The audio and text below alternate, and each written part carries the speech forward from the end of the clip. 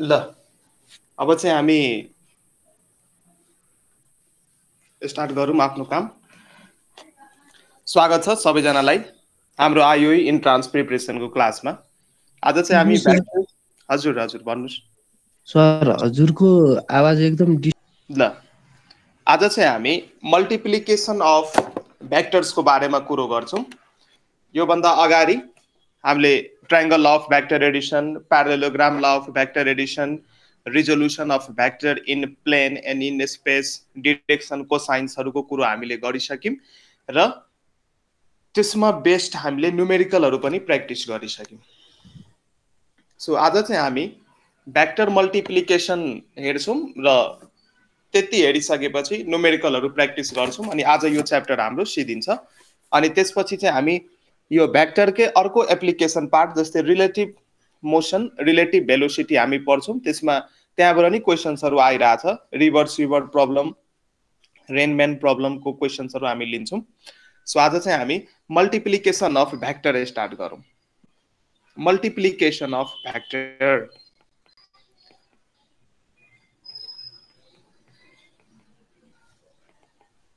multiplication of vectors so vector क्वान्टिटीहरूलाई कसरी multiply गर्ने त अथवा भ्याक्टर क्वान्टिटीहरूको मल्टिप्लिकेसन हामी कसरी गर्छौँ त्यो कुरा चाहिँ हामी पढ्छौँ आज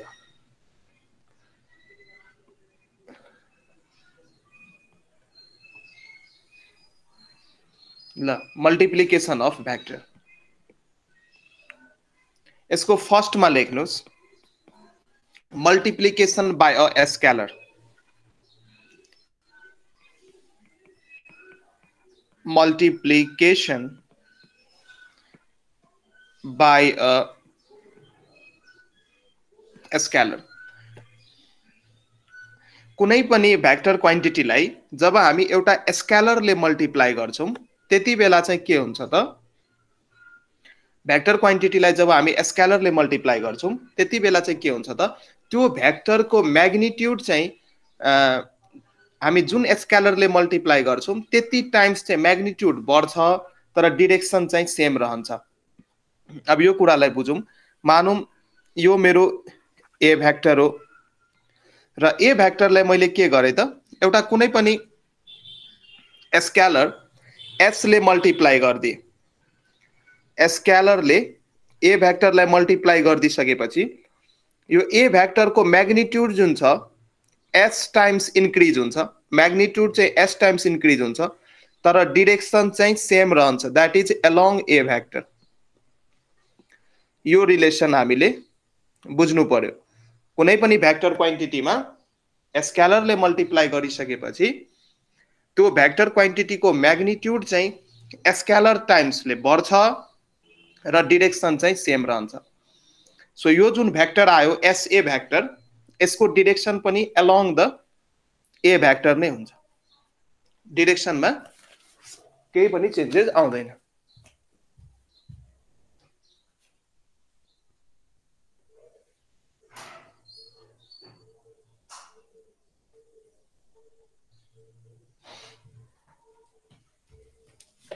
डिरेक्सनमा केही पनि चेन्जेस आउँदैन। सो सिम्पल थियो यो। When a vector A is multiplied by a scalar S, then the resultant is a vector.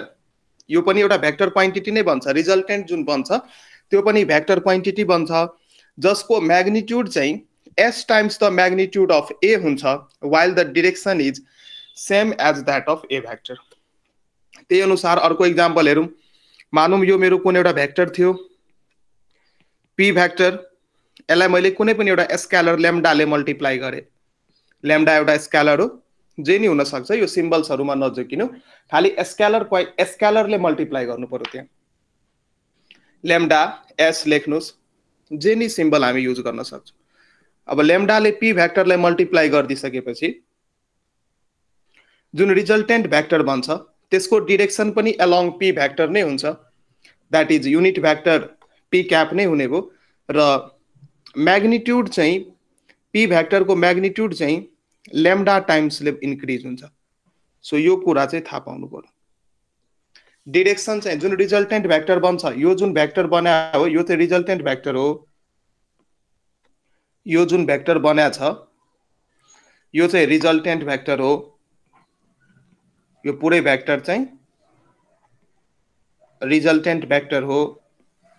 यसको म्याग्निट्युड लेम्डा पी भयो and direction is along P vector very simple यो चाहिँ multiplication of a scalar multiplication by a scalar अब चाहिँ हामी multiplication by a vector हेर्छौँ। अब भ्याक्टरको मल्टिप्लिकेसन दुई नम्बरमा multiplication by a vector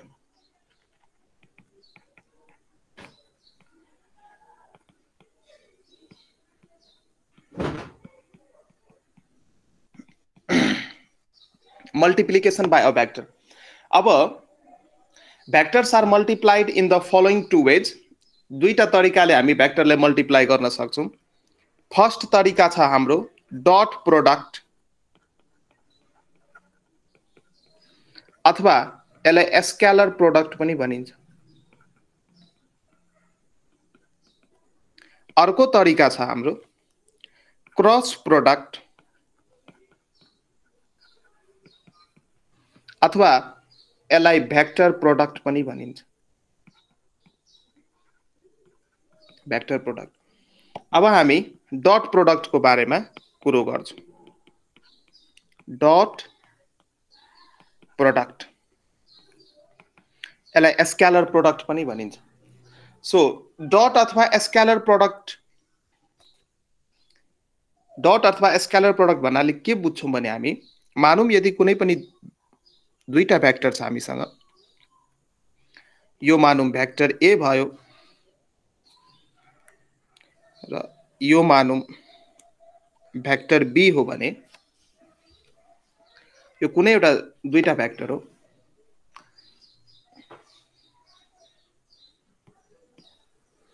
यसलाई चाहिँ म अलिकति लामो बनाउँछु।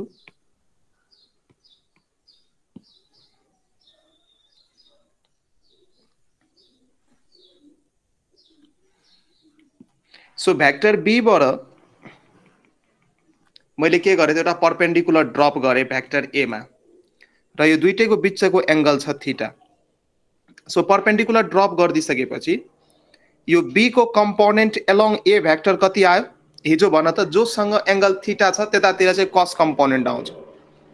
यति पार्ट चाहिँ बी कस थिटा भयो। यति पार्ट चाहिँ बी कस थिटा भयो। र डट प्रोडक्ट अथवा स्क्यालर प्रोडक्टलाई हामी यसरी डटले रिप्रेजेन्ट गर्छौँ।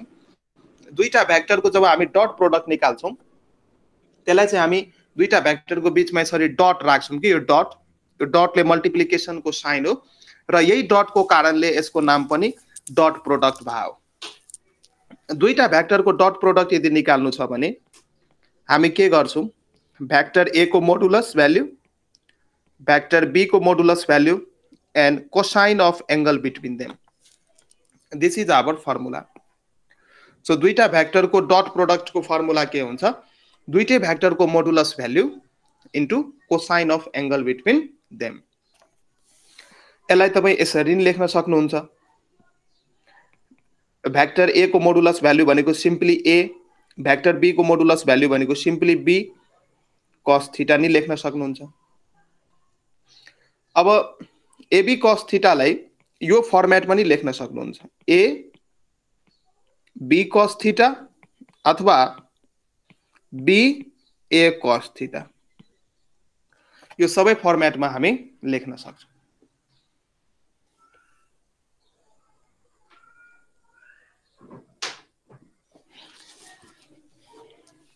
सो हेर्नुहोस् यो माथि जुन मैले डायग्राम बनाएको थिएँ यो डायग्रामबाट हामी के हेर्न सक्छौँ भने डट प्रोडक्ट भनेको त एबी कस थिटा हो। डट प्रोडक्ट भनेको एबी कस थिटा जब मैले भ्याक्टर बीको प्रोजेक्सन भ्याक्टर एमा लिएँ भ्याक्टर बीबाट पर्पेन्डिकुलर ड्रप गर्दाखेरि यति पार्ट चाहिँ बी कस थिटा चाहिँ प्रोजेक्सन हो। मतलब प्रोजेक्सन भनेको भ्याक् भ्याक्टर बीको स्याडो हो एलोङ भ्याक्टर ए प्रोजेक्सन मतलब स्याडो सो यसलाई चाहिँ डट प्रोडक्ट जब हामी लेख्छौँ vector A plus vector B यसलाई हामी लेख्छौँ ए बी कस थिटा अब यो कुरालाई हामी बुझौँ त। यो कुरा कुरालाई बुझौँ। एबी कस थिटाले चाहिँ के भन्छ भने कुनै पनि दुईटा भ्याक्टरको डट प्रोडक्ट निकाल्नु छ भने पहिला चाहिँ के गर्नुहोस् एउटा भ्याक्टरको म्याग्निट्युड लेख्नुहोस्। यो ए भन्नाले चाहिँ के ए यो जुन ए छ यसले चाहिँ एउटा ए ए भन्ने भ्याक्टरको म्याग्निट्युड भयो। र अर्को भ्याक्टरको प्रोजेक्सन यो बी कस थिटा भनेको के हो त? बी भ्याक्टरको प्रोजेक्सन हो। अर्को भ्याक्टरको next भ्याक्टरको projection along the same vector लिनु पर्यो। So B cos theta is the projection of vector B along vector A so यसरी चाहिँ हामी डट प्रोडक्टलाई बुझ्न सक्छौँ। अथवा यसलाई यो सेन्स पनि यो सेन्समा नि हामी लिन सक्छौँ जस्तै मानौँ। मानौँ हाम्रो भ्याक्टर यसरी दिएको छ। भ्याक्टर ए चाहिँ यसरी दिएको छ। भ्याक्टर बी चाहिँ यसरी दिएको छ। र यसको डट प्रोडक्ट निकाल्नु पर्यो भने हामी प्रोजेक्सन लिन सक्छौँ। अब यसलाई पनि कनेक्ट गर्नुहोस्। अब ए को प्रोजेक्सन बीको एलोङ लिनुहोस्। भ्याक्टर ए को प्रोजेक्सन बीको एलोङ लिनुहोस्। सो यो नाइन्टी डिग्री हुने भयो। अब ए को प्रोजेक्सन भ्याक्टर ए को प्रोजेक्सन बी को एलोङ लिनुहोस् मानौँ यो एङ्गल थिटा हो भने यति पार्ट चाहिँ हाम्रो के भइदिन्छ त? ए को प्रोजेक्सन हामी लिँदैछौँ बीको एलोङ डिरेक्सन बी सो यो भयो ए कस थिटा सो यहाँ पनि यदि dot product A dot B यदि निकाल्नुहुन्छ भने पहिला चाहिँ के लेख्नुहोस् अब बी को एलोङ प्रोजेक्सन लिँदैछु म भ्याक्टर बी को। सो भ्याक्टर बी को magnitude value into vector A को projection along B that is A cos theta यो भनेको बी ए कस थिटा हो. सो डट प्रोडक्ट भन्नाले के बुझ्यो त? कुनै पनि दुईटा भ्याक्टरको बिचमा डट प्रोडक्ट लिनु पर्यो भने फर्स्ट भ्याक्टरको म्याग्निट्युड भ्याल्यु लिनुहोस् र सेकेन्ड भ्याक्टरको प्रोजेक्सन लिनुहोस् along the first vector therefore the dot product of two vectors can also be interpreted as the product of the magnitude of one vector and the magnitude of the component of the other vector along the direction of first vector along the direction of first vector यो चाहिँ यसको definition भयो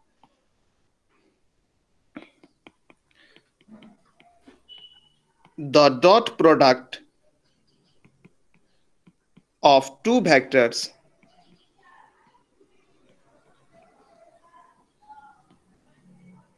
Can also be interpreted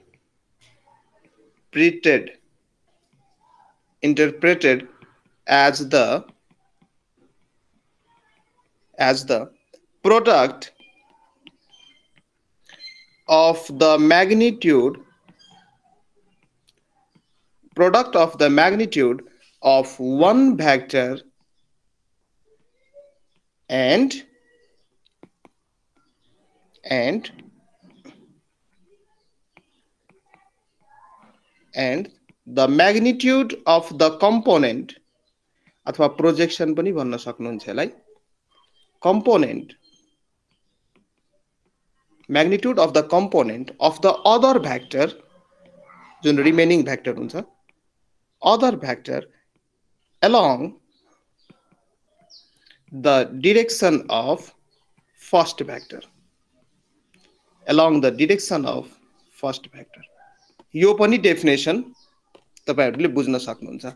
so दुईटा भ्याक्टरको dot product यदि निकाल्नु छ भने simply AB cos theta लेख्नुहोस्।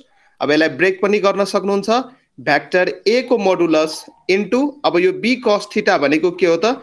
भ्याक्टर बी को कम्पोनेन्ट एलोङ ए भ्याक्टर अथवा यसलाई बी पनि लेख्न सक्नुहुन्छ र ए कस थिटा पनि लेख्न सक्नुहुन्छ। सो यो बिए कस थिटाले चाहिँ के भन्दैछ भने भ्याक्टर बी को magnitude it times vector A को कम्पोनेन्ट एलोङ भ्याक्टर बी यो कुरा बुझ्नुभयो यति?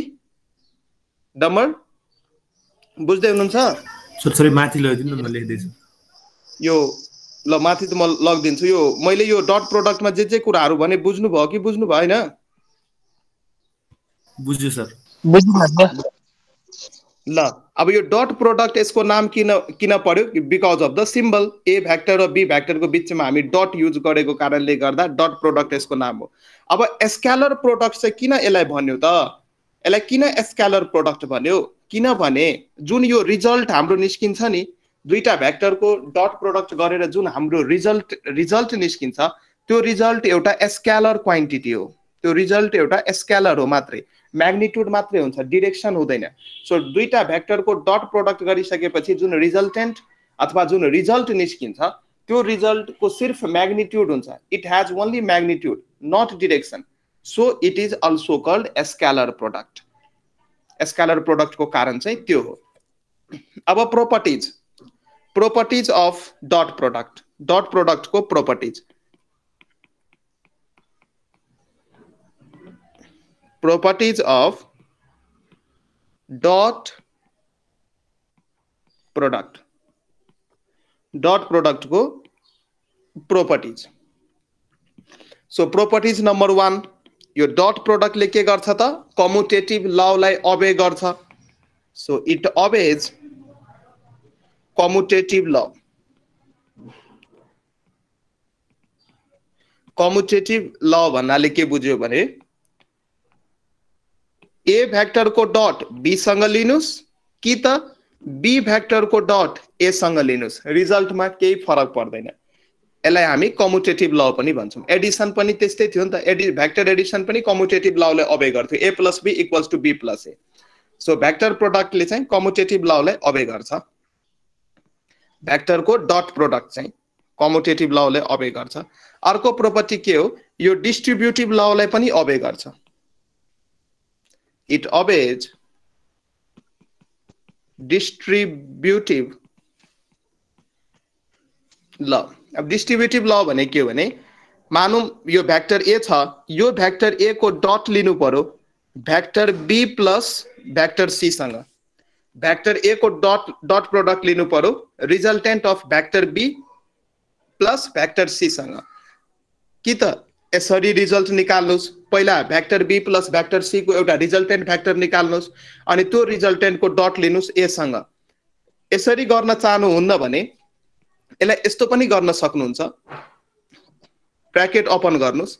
ए को डट लिनुहोस् बीसँग प्लस फेरि ए को डट लिनुहोस् सीसँग सो यसरी पनि आन्सर निकाल्न सक्नुहुन्छ सेम आन्सर आउँछ कि त यसरी पनि निकाल्न सक्नुहुन्छ। पहिला भ्याक्टर बी र सीको रिजल्टेन्ट भ्याल्यु निकाल्नुहोस् अनि त्यसको चाहिँ डट लिनुहोस् एसँग रिजल्टेन्ट निकाल्न मन लागेन त्यसो भए यस्तो नि गर्न सक्नुहुन्छ। सो यसलाई चाहिँ हामी डिस्ट्रिब्युटिभ ल भन्छौँ। यो डिस्ट्रिब्युटिभ ल भन्छौँ। ठिक छ? अर्को प्रोपर्टी हेरौँ। दुईटा भ्याक्टर यदि पर्पेन्डिकुलर छ भने दुईटा भ्याक्टर यदि पर्पेन्डिकुलर छ भने उनीहरूको डट प्रोडक्ट चाहिँ के हुन्छ त? जिरो हुन्छ। किनकि पर्पेन्डिकुलर हुन बित्तिकै थिटा नाइन्टी डिग्री हुने भयो र कस नाइन्टी के हुन्छ त? जिरो हुन्छ।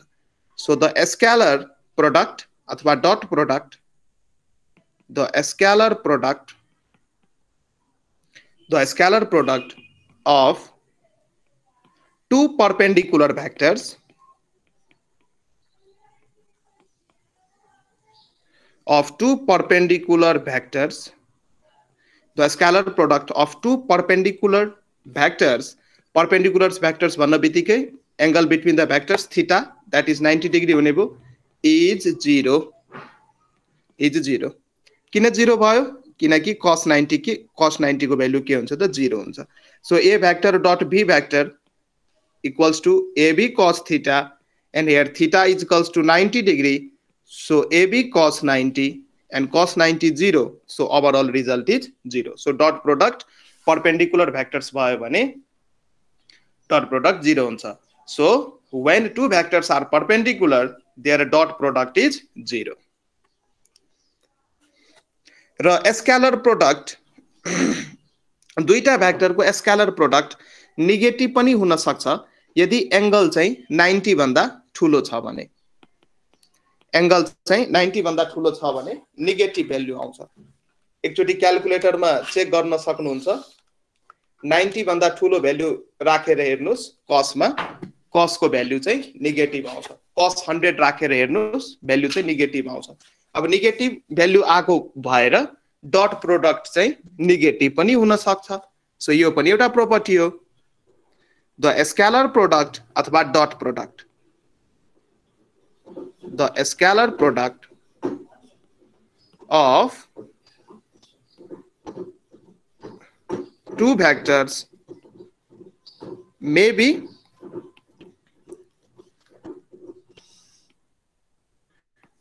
may be negative negative हुन सक्छ। कुन बेला सधैँ हुँदैन जब थिटा चाहिँ नब्बे डिग्री भन्दा ठुलो छ। सो भ्यालु चेक गर्न सक्नुहुन्छ। कस हन्ड्रेड कस हन्ड्रेडको भ्यालु चेक गर्नुहोस् नेगेटिभ आउँछ है। कस नाइन्टी वानको भ्यालु चेक गर्नुहोस् त म चेक गर्दैछु नेगेटिभ आउँछ। चेक गर्न सक्नुहुन्छ। नब्बे भन्दा थिटा ठुलो भयो भने कसको भ्यालु नेगेटिभ आएको कारणले गर्दाखेरि ओभरअल स्क्यालर प्रोडक्ट दुईटा भ्याक्टरको नेगेटिभ आउन सक्छ। त्यही अनुसार यो सबै प्रोपर्टीबाट क्वेसन चाहिँ फ्रेम गर्न सकिन्छ है। सो यो प्रोपर्टी मात्रै भएर चाहिँ यसलाई नबुझ्नु होला यहाँ यो यहाँ सबै पोइन्टबाट क्वेसन बनाउन सकिन्छ। सबै पोइन्टबाट इन्ट्रान्समा क्वेसन बनाउन सकिन्छ। पाँच नम्बर। यदि दुईटा भ्याक्टर प्यारलेल छ भने if vector A and vector B are parallel parallel अथवा कोलिनियर नै भन्न सकिन्छ त्यति बेला एङ्गल चाहिँ के हुन्छ त दुइटैको बिचमा? जिरो डिग्री हुन्छ। र कस जिरो कति हुन्छ? वान त्यति बेला डट प्रोडक्टको भ्याल्यु पोजिटिभ आउँछ हाम्रो।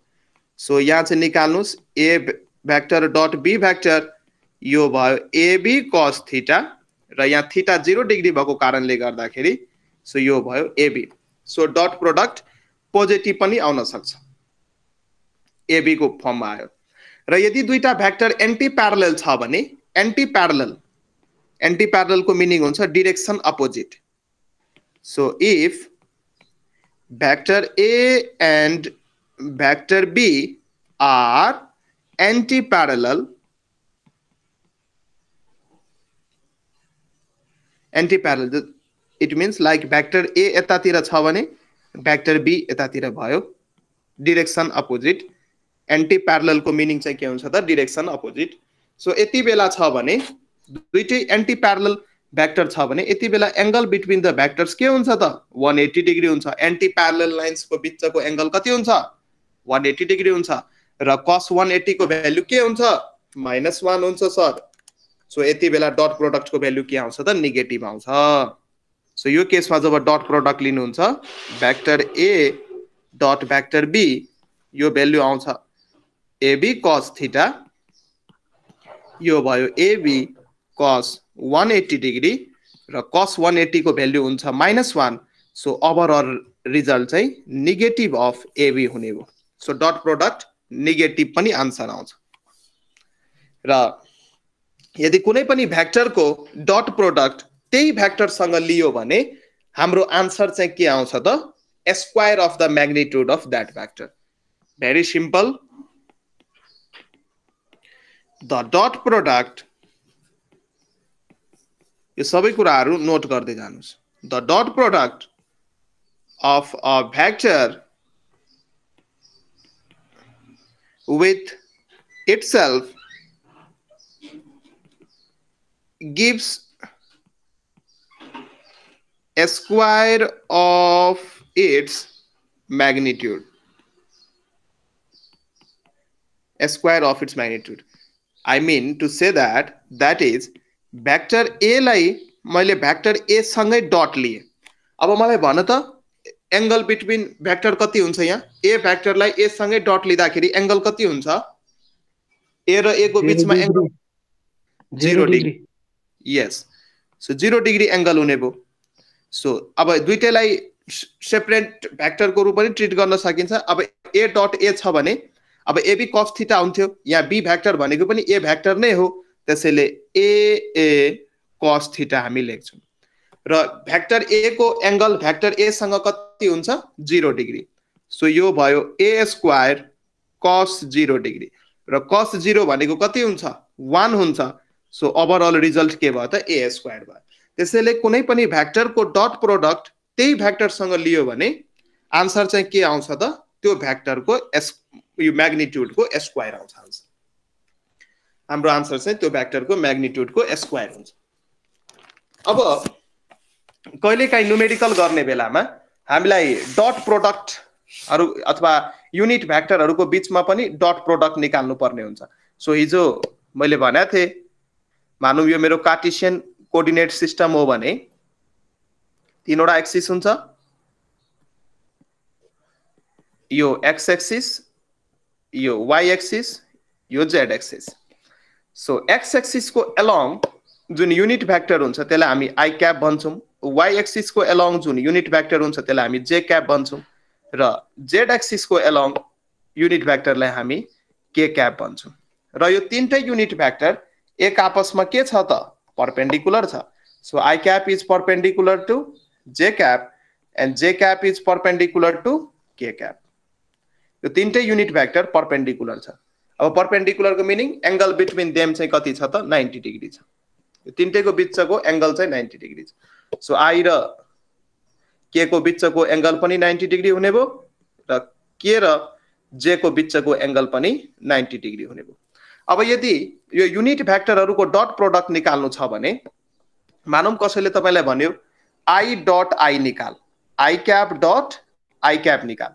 अब I cap dot I cap भइसकेपछि अब सेम भ्याक्टर हो। एउटै भ्याक्ट अब त्यही भ्याक्टरको डट प्रोडक्ट हामी त्यही भ्याक्टरसँग लिँदैछौँ। त आन्सर के हुन्छ? त्यसको म्याग्निट्युडको स्क्वायर र म्याग्निट्युड कति हुन्छ? युनिट भ्याक्टरको म्याग्निट्युड हुन्छ वान सो वानको स्क्वायर भन्ने बित्तिकै के भयो त?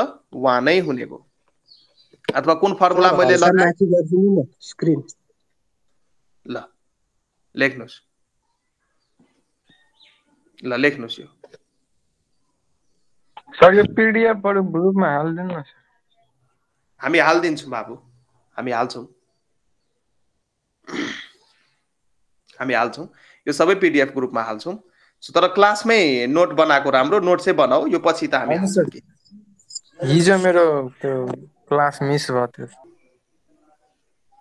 सो यहाँ हेर्नुहोस्। यो वान चाहिँ कसरी भयो भने अब डट प्रोडक्ट हामी निकाल्दैछौँ। सो यो दुइटै फ्याक्टरको मोडुलस भ्याल्यु लिनु पर्यो। सो आई क्यापको मोडुलस भ्याल्यु फेरि अर्को आई क्यापको मोडुलस भ्याल्यु अब I cap dot I cap भइसकेपछि आई क्याप आई क्यापको एङ्गल आई क्यापसँगै अथवा angle between I cap and I cap that is zero degree so cos zero degree cos zero भनेको कति हुन्छ? वान अब आई क्यापको म्याग्निट्युड पनि वान वान इन्टु अर्को आई क्यापको म्याग्निट्युड पनि वान र कस जिरो पनि वान सो ओभरअल आन्सर चाहिँ के आउँछ त? वान आउँछ यसरी बुझ्न सक्नुहुन्छ। त्यही अनुसार जे क्यापलाई जे क्यापसँग डट लियो भने आन्सर के आउँछ? वान आउँछ। सेम है? एक्सप्लानेसन चाहिँ सेम सेम एक्सप्लानेसन त्यही अनुसार के क्यापको डट यदि के क्यापसँग लिनुहुन्छ यो पनि वान आउँछ। सो क्वेसन्सहरू गर्ने बेला यो प्रोपर्टीहरू युज हुन्छ। ठिक छ? र यदि अब म चाहिँ के गरेँ त? अब चाहिँ म आई क्यापको डट चाहिँ जे क्यापसँग लिएँ। सो यो दुइटाको बिचको एङ्गल कति भयो? नाइन्टी डिग्री हुने भयो। सो कोस नाइन्टी कति हुने भयो? जिरो हुने भयो। सो यसको डट लेख्नुहोस्। आई क्यापको magnitude J क्यापको magnitude and angle between them is cos ninety. So cos ninety कति हुन्छ? जिरो हुन्छ। So one into one into zero. So overall result is zero. So जब हामी दुईटा पर्पेन्डिकुलर युनिट भ्याक्टरको dot product लिन्छौँ answer आउँछ zero दुईटा perpendicular dot unit vector त्यही अनुसार यदि जे क्यापको डट के क्यापसँग लिनुहुन्छ दुइटैको बिचमा एङ्गल नाइन्टी डिग्री हुने भयो सो डट प्रोडक्ट जिरो त्यही अनुसार आई क्यापको डट के क्यापसँग यदि लिनुभयो भने यो केसमा पनि आन्सर चाहिँ के आउँछ त? जिरो आउँछ. सो यति कहानी चाहिँ हाम्रो यति कहानी चाहिँ हाम्रो डट प्रोडक्टसँग सम्बन्धित थियो। यति कहानी हाम्रो डट प्रोडक्ट हो अथवा बुझ्न सक्नु। अब डट प्रोडक्टको इक्जाम्पल्स यो के छुट्या छ भने लेख्नुहोस् है यो। मिनिमाइज गरेँ स्क्रिन डट प्रोडक्टको इक्जाम्पल्स इक्जाम्पल्स वर्क डन जुन छ वर्क डन वर्क डन चाहिँ एउटा के हो त? डट प्रोडक्ट हो। Between force and displacement factor so the work एक नम्बरमा लेख्नुहोस् जुन यो वर्क डन छ वर्क डन यो वर्क डन जुन डब्लु छ यो चाहिँ डट प्रोडक्ट हो between force vector and displacement vector job force vector and displacement भ्याक्टरको हामी डट प्रोडक्ट लिन्छौँ, त्यति बेला चाहिँ हाम्रो नेट वर्क डन निस्किन्छ, र वर्क डन एउटा स्क्यालर क्वान्टिटी हो, त्यसैले डट प्रोडक्ट डट दुईवटा भ्याक्टरको डट प्रोडक्ट गरिसकेपछि जुन आन्सर आउँछ त्यो स्क्यालर क्वान्टिटी हुन्छ। त्यसैले वर्क डन चाहिँ के हो त एउटा? स्क्यालर क्वान्टिटी हो। अर्को इक्जाम्पल हेर्न सक्नुहुन्छ यसकै। अर्को इक्जाम्पल हेर्न सक्नुहुन्छ। यो जुन हाम्रो पावर छ नि पावर पावर पनि के हो त? डट प्रोडक्ट हो। अर्को इक्जाम्पल पावर पावर पनि डट प्रोडक्ट हो। So this is the dot product between force vector and velocity vector यो पनि डट प्रोडक्ट हो। त्यही अनुसार म्याग्नेटिक फ्लक्स अथवा इलेक्ट्रिक फ्लक्स यो सबै डट प्रोडक्ट हो। Electric flux magnetic flux so five magnetic मैले लेखेँ यहाँ। यसको नाम बुझ्नु म्याग्नेटिक फ्लक्स हो यो। सो म्याग्नेटिक फ्लक्सको फर्मुला हुन्छ। म्याग्नेटिक अथवा magnetic field vector B vector dot A vector त्यही अनुसार इलेक्ट्रिक फ्लक्सको फर्मुला हुन्छ। इलेक्ट्रिक फर फ्लक्सको फर्मुला हुन्छ। ई भ्याक्टर ई भ्याक्टर भनेको इलेक्ट्रिक फिल्ड भ्याक्टर अथवा electric field strength dot A vector A vector is the area vector A vector is the area vector यसरी यो चाहिँ सबै इक्जाम्पल चाहिँ के को हो त? डट प्रोडक्टको इक्जाम्पल हो। जब हामी फोर्स फोर्स भ्याक्टर र डिस्प्लेसमेन्ट भ्याक्टरको बिचमा डट प्रोडक्ट लिन्छौँ। त्यति बेला चाहिँ हामी वर्क डन अप्टेन्ड गर्छौँ। सिमिलरली फोर्स भ्याक्टर र भेलोसिटी भ्याक्टरको बिचमा जब हामी डट प्रोडक्ट लिन्छौँ त्यति बेला चाहिँ हामी पावर अप्टेन्ड गर्छौँ। र म्याग्नेटिक फ्लक्सको लागि B vector dot A vector and electric फ्लक्सको लागि E vector dot A vector यो सबै कुराहरू हामी यो जब हामी यो इलेक्ट्रोस्ट्याटिक पढ्छौँ त्यति बेला चाहिँ हामी यो इलेक्ट्रिक फ्लक्सको कुरो गर्छौँ। जब हामी म्याग्नेटिजम पढ्छौँ अथवा म्याग्नेटिजमसँग रिलेटेड प्रपर्टीहरू हेर्छौँ त्यति बेला चाहिँ हामी म्याग्नेटिक फ्लक्सको कुरो गर्छौँ। यति चाहिँ कुरा हाम्रो डट प्रोडक्टको थियो। अब चाहिँ हामी स्टार्ट गरौँ भ्याक्टर प्रोडक्ट अथवा क्रस प्रोडक्ट भ्याक्टर प्रोडक्ट अथवा क्रस प्रोडक्ट केही लेख्न बाँकी छ भने लेख्नुहोस् है म एकछिन यो पाउज गर्छु यो। ल म यसै मिनिमाइज गरिदिएँ नोट चाहिँ लेख्नुहोस् त। यति योभन्दा बढी मैले पढाएको छैन यति चाहिँ छुट्यायो होला कसैको। ल लेख्नुहोस्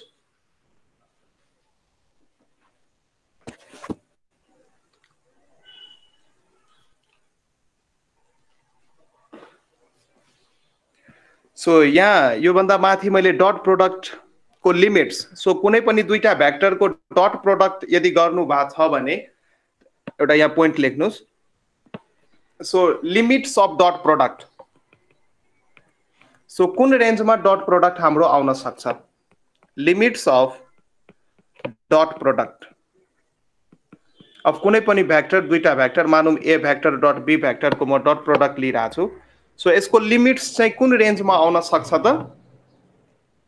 यो डट प्रोडक्टको लिमिट जुन हुन्छ मानौँ ए भ्याक्टर डट बी भ्याक्टरको जुन डट प्रोडक्टको जुन आन्सर छ त्यो चाहिँ less than or equals to A B हुनसक्छ कि त?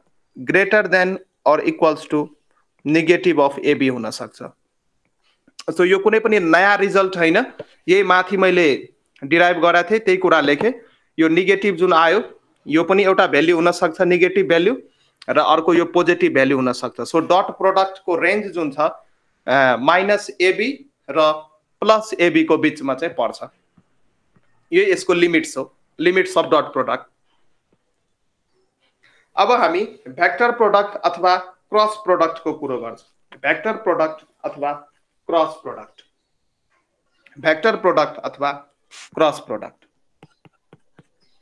यो सेकेन्ड हम भेक्टर मल्टिप्लिकेसन भयो भेक्टर प्रोडक्ट अथवा cross product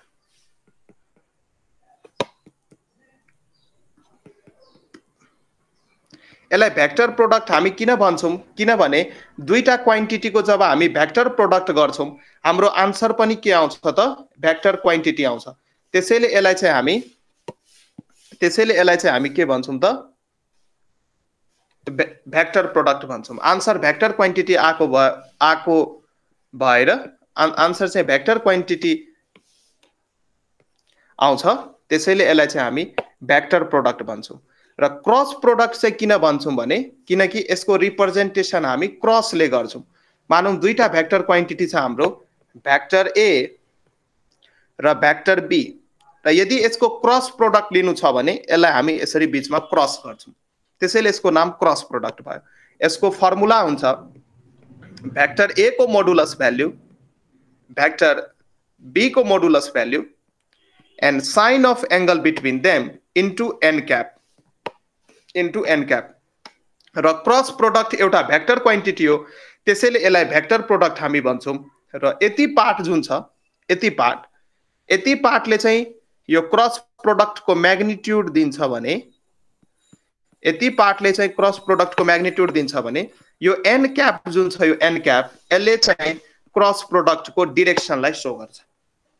It shows the direction of cross product therefore the vector product अथवा cross product of two vector is a vector whose magnitude is equal to the product of magnitudes of the two vectors and sine of the angle between them so this is the यसको statement भयो statement पनि लेख्नुहोस् note पनि complete हुनु पर्यो the vector product the vector product of two vectors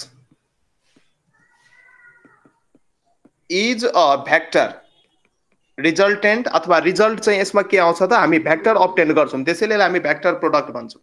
The vector product of two vectors is a vector whose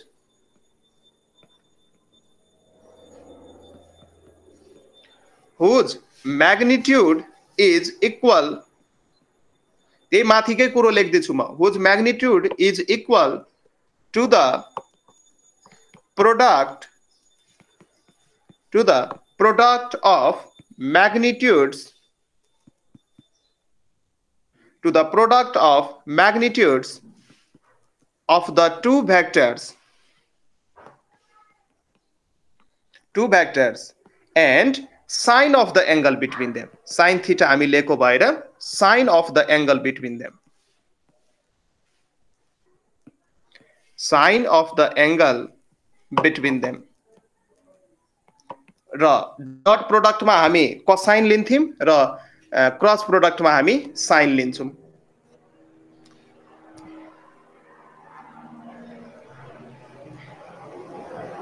अब हेर्नुहोस् यो भेक्टर प्रोडक्ट अब यो एन क्यापले त डिरेक्सन दिन्छ।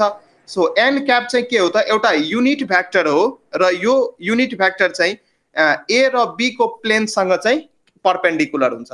त्यसैले मानौँ यो अहिले म बताउँछु पहिला यो लेखिहाल्नुहोस् एक line.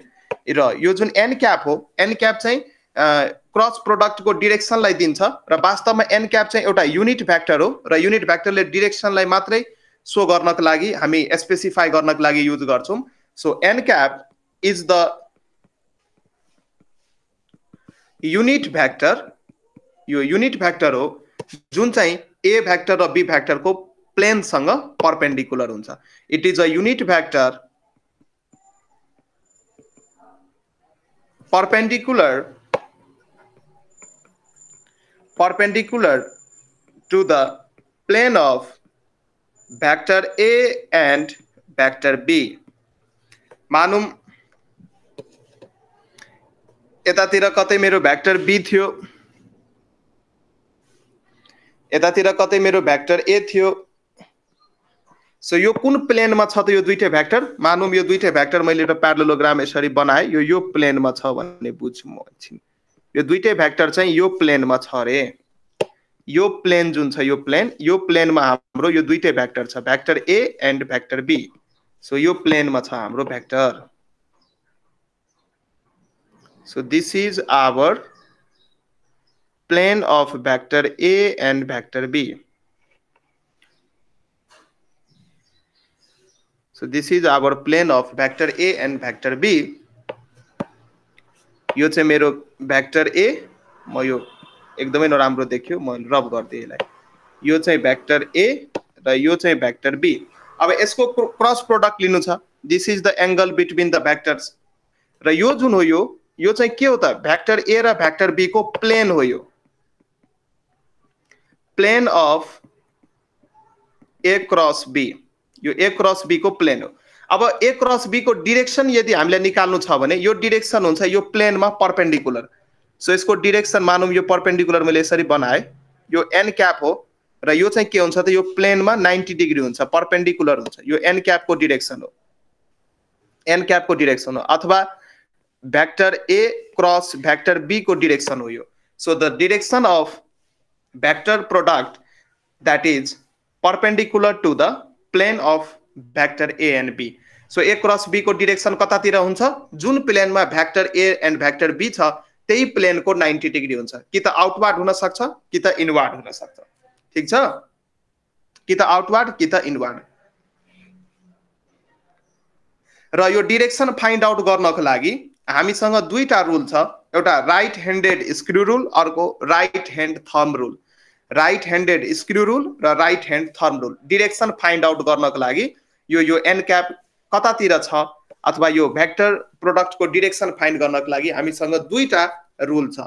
Right handed screw rule एउटा रुल छ हाम्रो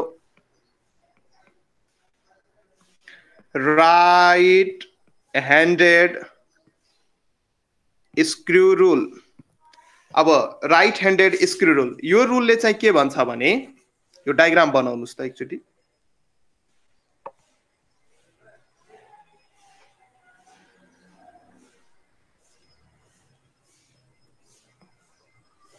यो चाहिँ हाम्रो भ्याक्टर ए यो चाहिँ हाम्रो भ्याक्टर बी।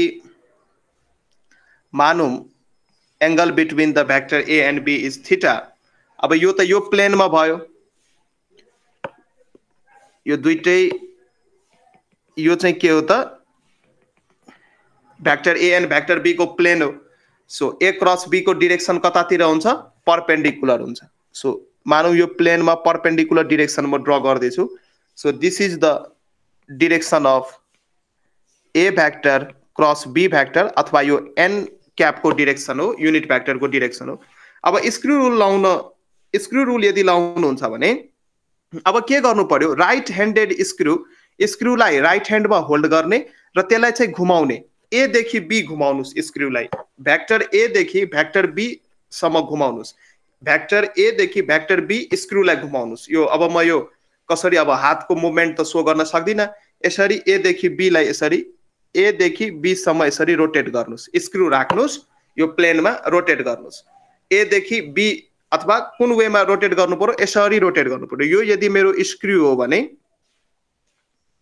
मानौँ यो यदि मेरो स्क्रु हो भने यो मेरो स्क्रु हो भने यसलाई चाहिँ रोटेट गर्नु पर्यो। कसरी त? यो सेन्समा रोटेट गर्नु पर्यो। एदेखि बी सेन्समा रोटेट गर्नु पर्यो। यसरी यदि स्क्रुलाई रोटेट गर्नुहुन्छ भने यो स्क्रु कतातिर जान्छ? माथितिर जान्छ। यो स्क्रुको मुभमेन्ट यदि यो यो सेन्समा यदि रोटेट गर्नुभयो भने एन्टी क्लकवाइज सेन्समा रोटेट गर्नुभयो भने यो माथि जान्छ। यसको मतलब यो पेनिट्रेट गर्छ कुनै सर्फेसमा र यदि क्लकवाइज यदि घुमाउनु भयो भने स्क्रुलाई क्लकवाइज घुमाउनको लागि बीदेखि ए घुमाउनु पर्यो अनि क्लकवाइज घुम्छ अनि यो तलतिर पोइन्ट गर्छ तलतिर जान्छ। सो ए क्रस बीको डिरेक्सन हामी कसरी निकाल्न सक्छौँ? So vector A cross vector बीको direction कसरी निकाल्न सक्छौँ? यो स्क्रुको मुभमेन्ट अनुसार स्क्रु माथितिर जान्छ। सो यसको डिरेक्सन हामी भन्छौँ अपवार्ड यसको हामी डिरेक्सन भन्छौँ अपवार्ड यदि यही केसमा बी क्रस ए यदि निकाल्नुहुन्छ भने यो बीदेखि ए मुभ हुने भयो। बी क्रस ए जब निकाल्नुहुन्छ त बीदेखि एलाई मुभ गर्नुहोस् भ्याक्टरलाई यसरी मुभ हुने भयो। बीदेखि ए मुभ हुने भयो। यसको मतलब क्लकवाइज मुभ हुने भयो। सो बीदेखि ए यदि मुभ छ भने बीदेखि ए मुभ छ भने यसको डिरेक्सन के भइदिन्छ त? डाउनवार्ड भइदिन्छ। कि त अपवार्ड कि त डाउनवार्ड जुन प्लेनमा भ्याक्टर कन्टेन्ट भए हुन्छ त्यो प्लेनबाट कि त बाहिर जान सक्छ डिरेक्सन कि त त्यो प्लेनतिरै इनवार्ड हुन सक्छ। सो कि त आउटवार्ड कि त इनवार्ड। कि त आउटवार्ड कि त इनवार्ड।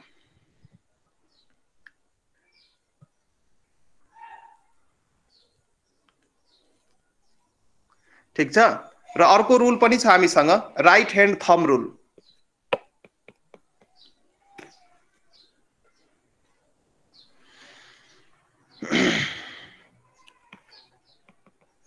सबभन्दा इजी हुन्छ राइट ह्यान्ड थम रुल लाउन।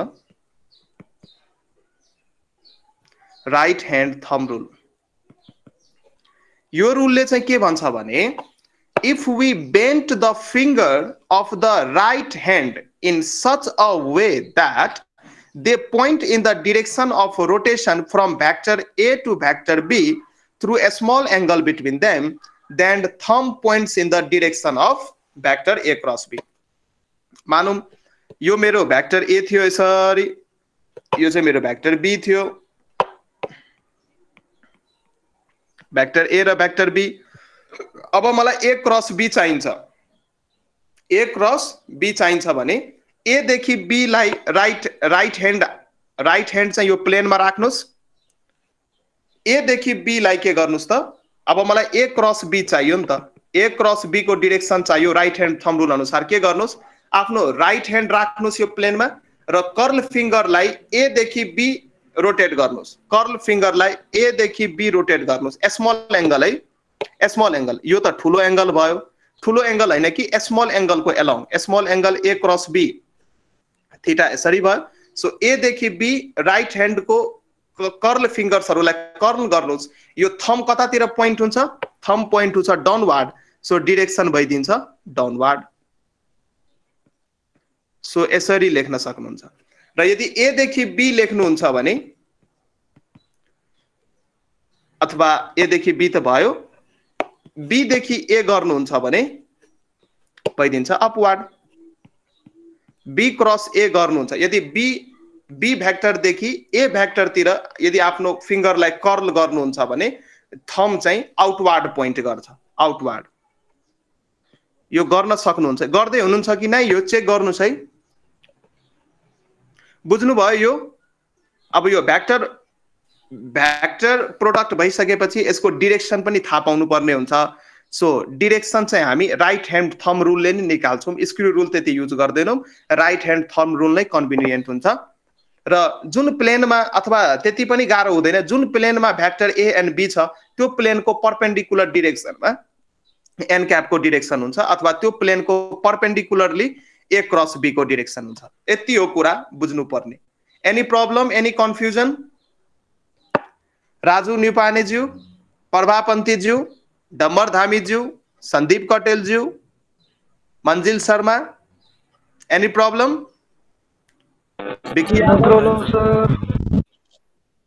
ल। अब चाहिँ हामी यसको प्रोपर्टिजको कुरो गरौँ। Properties of cross product cross प्रोडक्टको properties.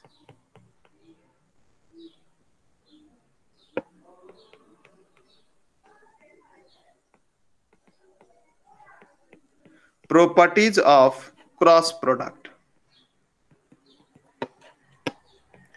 First number properties cross product चाहिँ कमुटेटिभ हुँदैन। That is vector product is not commutative तर स्क्यालर प्रोडक्ट चाहिँ कमुटेटिभ थियो है सो प्रोपर्टिज एकदमै ध्यानमा राख्नुहोस्। प्रोपर्टिजबाट पनि question सोधिरहेछ। The vector the vector product is not commutative यो चाहिँ कम्युटेटिभ हुँदैन। यसको मतलब A cross B is not equals to B cross A किन इक्वल भएन? कसैले भन्न सक्नुहुन्छ? A cross B B cross एसँग किन इक्वल भएन? डिरेक्सन सेम हुँदैन। यस यस डिरेक्सन सेम हुँदैन। म्याग्निट्युड भ्याल्यु त सेम हुन्छ। ए क्रस बी र बी क्रस ए को म्याग्निट्युड भ्याल्यु चाहिँ सेम हुन्छ। तर डिरेक्सन चाहिँ फरक पर्छ। एउटाको डिरेक्सन आउटवार्ड हुन्छ भने अर्कोको डिरेक्सन इनवार्ड हुन्छ। सो डिरेक्सन फरक भएको कारणले गर्दाखेरि भ्याक्टर प्रोडक्ट चाहिँ कमुटेटिभ हुँदैन। तर भ्याक्टर प्रोडक्ट चाहिँ एसोसिएट होइन भ्याक्टर प्रोडक्ट चाहिँ डिस्ट्रिब्युटिभ चाहिँ हुन्छ। यसले डिस्ट्रिब्युटिभ ललाई चाहिँ फलो गर्छ। But the vector product vector product is distributive distributive यसको मतलब मलाई भ्याक्टर ए को क्रस लिनु छ। Resultant of vector B plus vector सीसँग कि त पहिला के गर्नुहोस् बी र सीको रिजल्टेन्ट निकाल्नुहोस् त्यसको क्रस ए भ्याक्टरसँग लिनुहोस् जुन आन्सर आउँछ त्यही आन्सर यो केसमा पनि आउँछ। कि त ए क्रस बी गर्नुहोस् प्लस यसमा ए क्रस सी गर्नुहोस् यसरी पनि गर्न सक्नुहुन्छ सेम आन्सर आउँछ कि त यसरी नै गर्न सक्नुहुन्छ। त्यसैले भ्याक्टर प्रोडक्ट चाहिँ डिस्ट्रिब्युटिभ हुन्छ। र दुईटा प्यारल भ्याक्टर्सको भ्याक्टर प्रोडक्ट जहिले पनि नल भ्याक्टर हुन्छ। नल भ्याक्टरको मैले कुरो गरिसकेको छु। Magnitude zero direction arbitrary so दुईटा दुईटा प्यारल भ्याक्टर्सको भ्याक्टर प्रोडक्ट के हुन्छ त? नल भ्याक्टर हुन्छ। The vector product the vector product of two parallel of two parallel vectors is a null vector. That is zero vector. Null vector भनेको zero लेख्ने माथि चाहिँ भ्याक्टरको साइन लगाउने। दुईटा प्यारल भ्याक्टर छ मसँग। सो प्यारल भ्याक्टर्स हुन बित्तिकै एङ्गल बिट्विन द भ्याक्टर्स के हुने भयो? जिरो हुने भयो। मानौँ यो दुईटा भ्याक्टर छ मसँग। यो चाहिँ भ्याक्टर ए यो चाहिँ vector B so angle between the vector is zero degree अब मलाई क्रस प्रोडक्ट निकाल्नु छ। So vector A cross vector B यदि हामी निकाल्छौँ हामी लेख्छौँ एबी साइन थिटा यति पार्टले म्याग्निट्युड दिन्छ। यो एन क्याप भयो यो चाहिँ डिरेक्सन भयो। अब AB theta is 0 degree. So sine 0 degree र sine zero degree into n cap र साइन जिरो कति हुन्छ? जिरो हुन्छ। So overall zero overall answer पनि जिरो हुने भयो तर जिरो नलेख्नु जिरोको माथि एउटा भ्याक्टर लगाउनु। यो चाहिँ नल भ्याक्टर भयो। त्यसैले दुईटा प्यारल भ्याक्टर्सको बिचमा भ्याक्टर प्रोडक्ट अथवा क्रस प्रोडक्ट के आउँछ त? नल भ्याक्टर आउँछ। सिमिलरली सिमिलरली यदि vector product of a vector by itself यदि एउटा भ्याक्टरको त्यही भ्याक्टरसँग यदि भ्याक्टर प्रोडक्ट लिने हो भने त्यो केसमा पनि आन्सर के आउँछ त? नल भ्याक्टर आउँछ। यो अर्को प्रोपर्टी हो। Property number four next property चाहिँ के भन्छ भने एउटा भ्याक्टरको त्यही भ्याक्टरसँग यदि भ्याक्टर प्रोडक्ट लिने हो भने आन्सर यो केसमा पनि नल भ्याक्टर आउँछ। सो लेख्नुहोस् यो कुरा। The vector product the vector product of a vector एउटा भ्याक्टरको भ्याक्टर प्रोडक्ट त्यही भ्याक्टरसँग the vector product of a vector by itself त्यहीसँग यदि भ्याक्टर प्रोडक्ट लिने हो भने by itself the vector product of a vector by itself is a null vector यो केसमा पनि नल भ्याक्टर आउँछ। मानौँ यो मेरो भ्याक्टर ए थियो। अब यही भ्याक्टर ए को भ्याक्टर प्रोडक्ट पर्यो, यही भ्याक्टरसँग सो ए भ्याक्टर र ए भ्याक्टरको बिचमा एङ्गल कति हुन्छ? जिरो डिग्री हुन्छ। ए र भ्याक्टर ए को बिचमा एङ्गल जिरो डिग्री हुन्छ। ए र भ्याक्टर बी को बिचमा एङ्गल जिरो डिग्री हुन्छ। सो यहाँ लेख्नुहोस्। Vector A cross vector A so पहिला magnitude A A sine of angle sine theta यहाँ चाहिँ कति भयो? जिरो डिग्री यति चाहिँ म्याग्निट्युड पार्ट दिने भयो। यति चाहिँ एन क्याप चाहिँ unit vector so sine zero zero zero times n cap गर्नुहुन्छ। यो केसमा पनि जिरो नै आउँछ। माथि एउटा भ्याक्टर लाउनुहोस्। सो नल भ्याक्टर यो केसमा पनि अप्टेन गर्न सक्नुहुन्छ। ठिक छ? बुझ्दै हुनुहुन्छ कि? म मात्रै पढ्दैछु। म मात्रै बुझिरहेको छु यहाँ। हेलो मेरा प्यार ए बुझ्दैछु प्रभापन्थीजीले बुझ्दै हुनुहुन्छ? हजुर सर। ए। नोट कतिजनाले बनाउँदै हुनुहुन्छ त्यहाँ अहिले? सबैजनाले बनाइरह हो नि नोट? नोट बनाउनुहोस् है। Note is important. म यति लेखिरहेको छु मतलब यो इम्पोर्टेन्ट छ पछि चाहिन्छ। इक्जामको बेला यही नोट भएन भने पढ्न गाह्रो हुन्छ। इक्जामको बेला बल्कियर बुक पढेर काम छैन। टाइम हुँदैन। त्यत्रो बुक हामी पढ्न सक्दैनौँ। त्यसैले जुन नोट तपाईँले बनाउनुहुन्छ त्यो नोटभन्दा इम्पोर्टेन्ट केही हुँदैन इक्जामको बेला। अर्काको नोट काम दिँदैन आफ्नो नोट बनाउनु। किनकि आफ्नो नोट बनाइसकेपछि त्यो आफैले लेख्या हुन्छ। इक्जाम टाइममा रिभाइज गर्ने बेला थोरै समयमा त्यसलाई हामी रिभाइज गर्न सक्छौँ। ठिक छ। अब अर्को पोइन्ट लेख्नुहोस्। भ्याक्टर प्रोडक्ट जस्तै एउटा पोइन्ट लेख्नुहोस् यहाँ। मानौँ मसँग दुईटा भ्याक्टर छ। यो थियो भ्याक्टर ए यो थियो भ्याक्टर बी यो थियो भ्याक्टर ए अनि यो थियो भ्याक्टर बी अब प्यारलोग्राम बनाउनुहोस्। प्यारलोग्राम बनाउनुहोस्। सो रिजल्टेन्ट चाहिँ यो भयो। रिजल्टेन्ट भ्याक्टर चाहिँ हाम्रो यो भयो। So this is our resultant vector this is our resultant vector so यहाँ vector A cross vector B को यदि म्याग्निट्युड निकाल्नुहुन्छ यो म्याग्निट्युडले चाहिँ के दिन्छ त? दुईटा भ्याक्टरको क्रस प्रोडक्टको म्याग्निट्युडले चाहिँ के दिन्छ त? एरिया अफ प्यारलोग्राम दिन्छ। सो जुन यो प्यारलोग्राम यहाँ बन्या छ यो जुन प्यारलोग्राम बन्या छ यो प्यारलोग्रामको एरिया चाहिँ के कसले दिन्छ त? ए क्रस बी को म्याग्निट्युडले दिन्छ। So A vector cross B भ्याक्टरको म्याग्निट्युडले चाहिँ के दिन्छ त? एरिया अफ प्यारलोग्राम दिन्छ। Area of parallelogram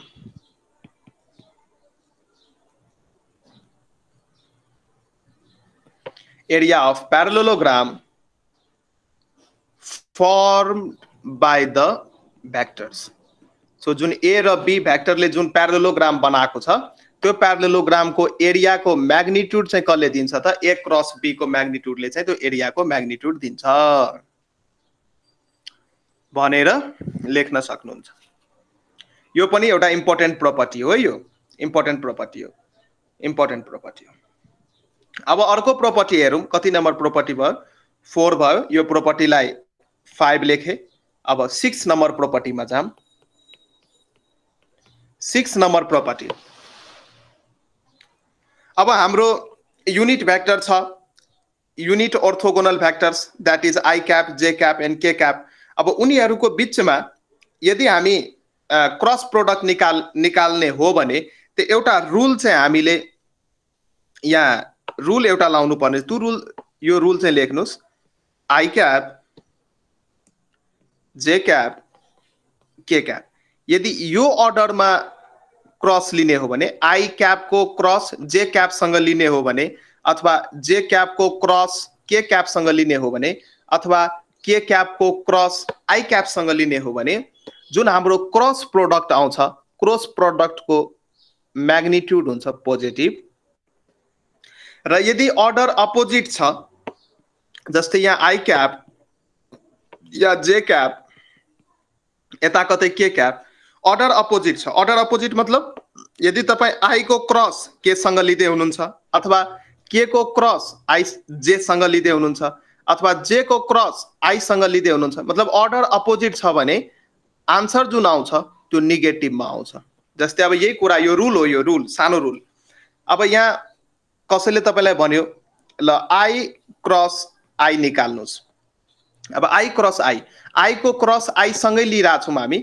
सो यहाँ यसको म्याग्निट्युड त्यसपछि यसको म्याग्निट्युड एन्ड एङ्गल कति हुन्छ त? एङ्गल हुन्छ जिरो डिग्री एङ्गल जिरो भयो।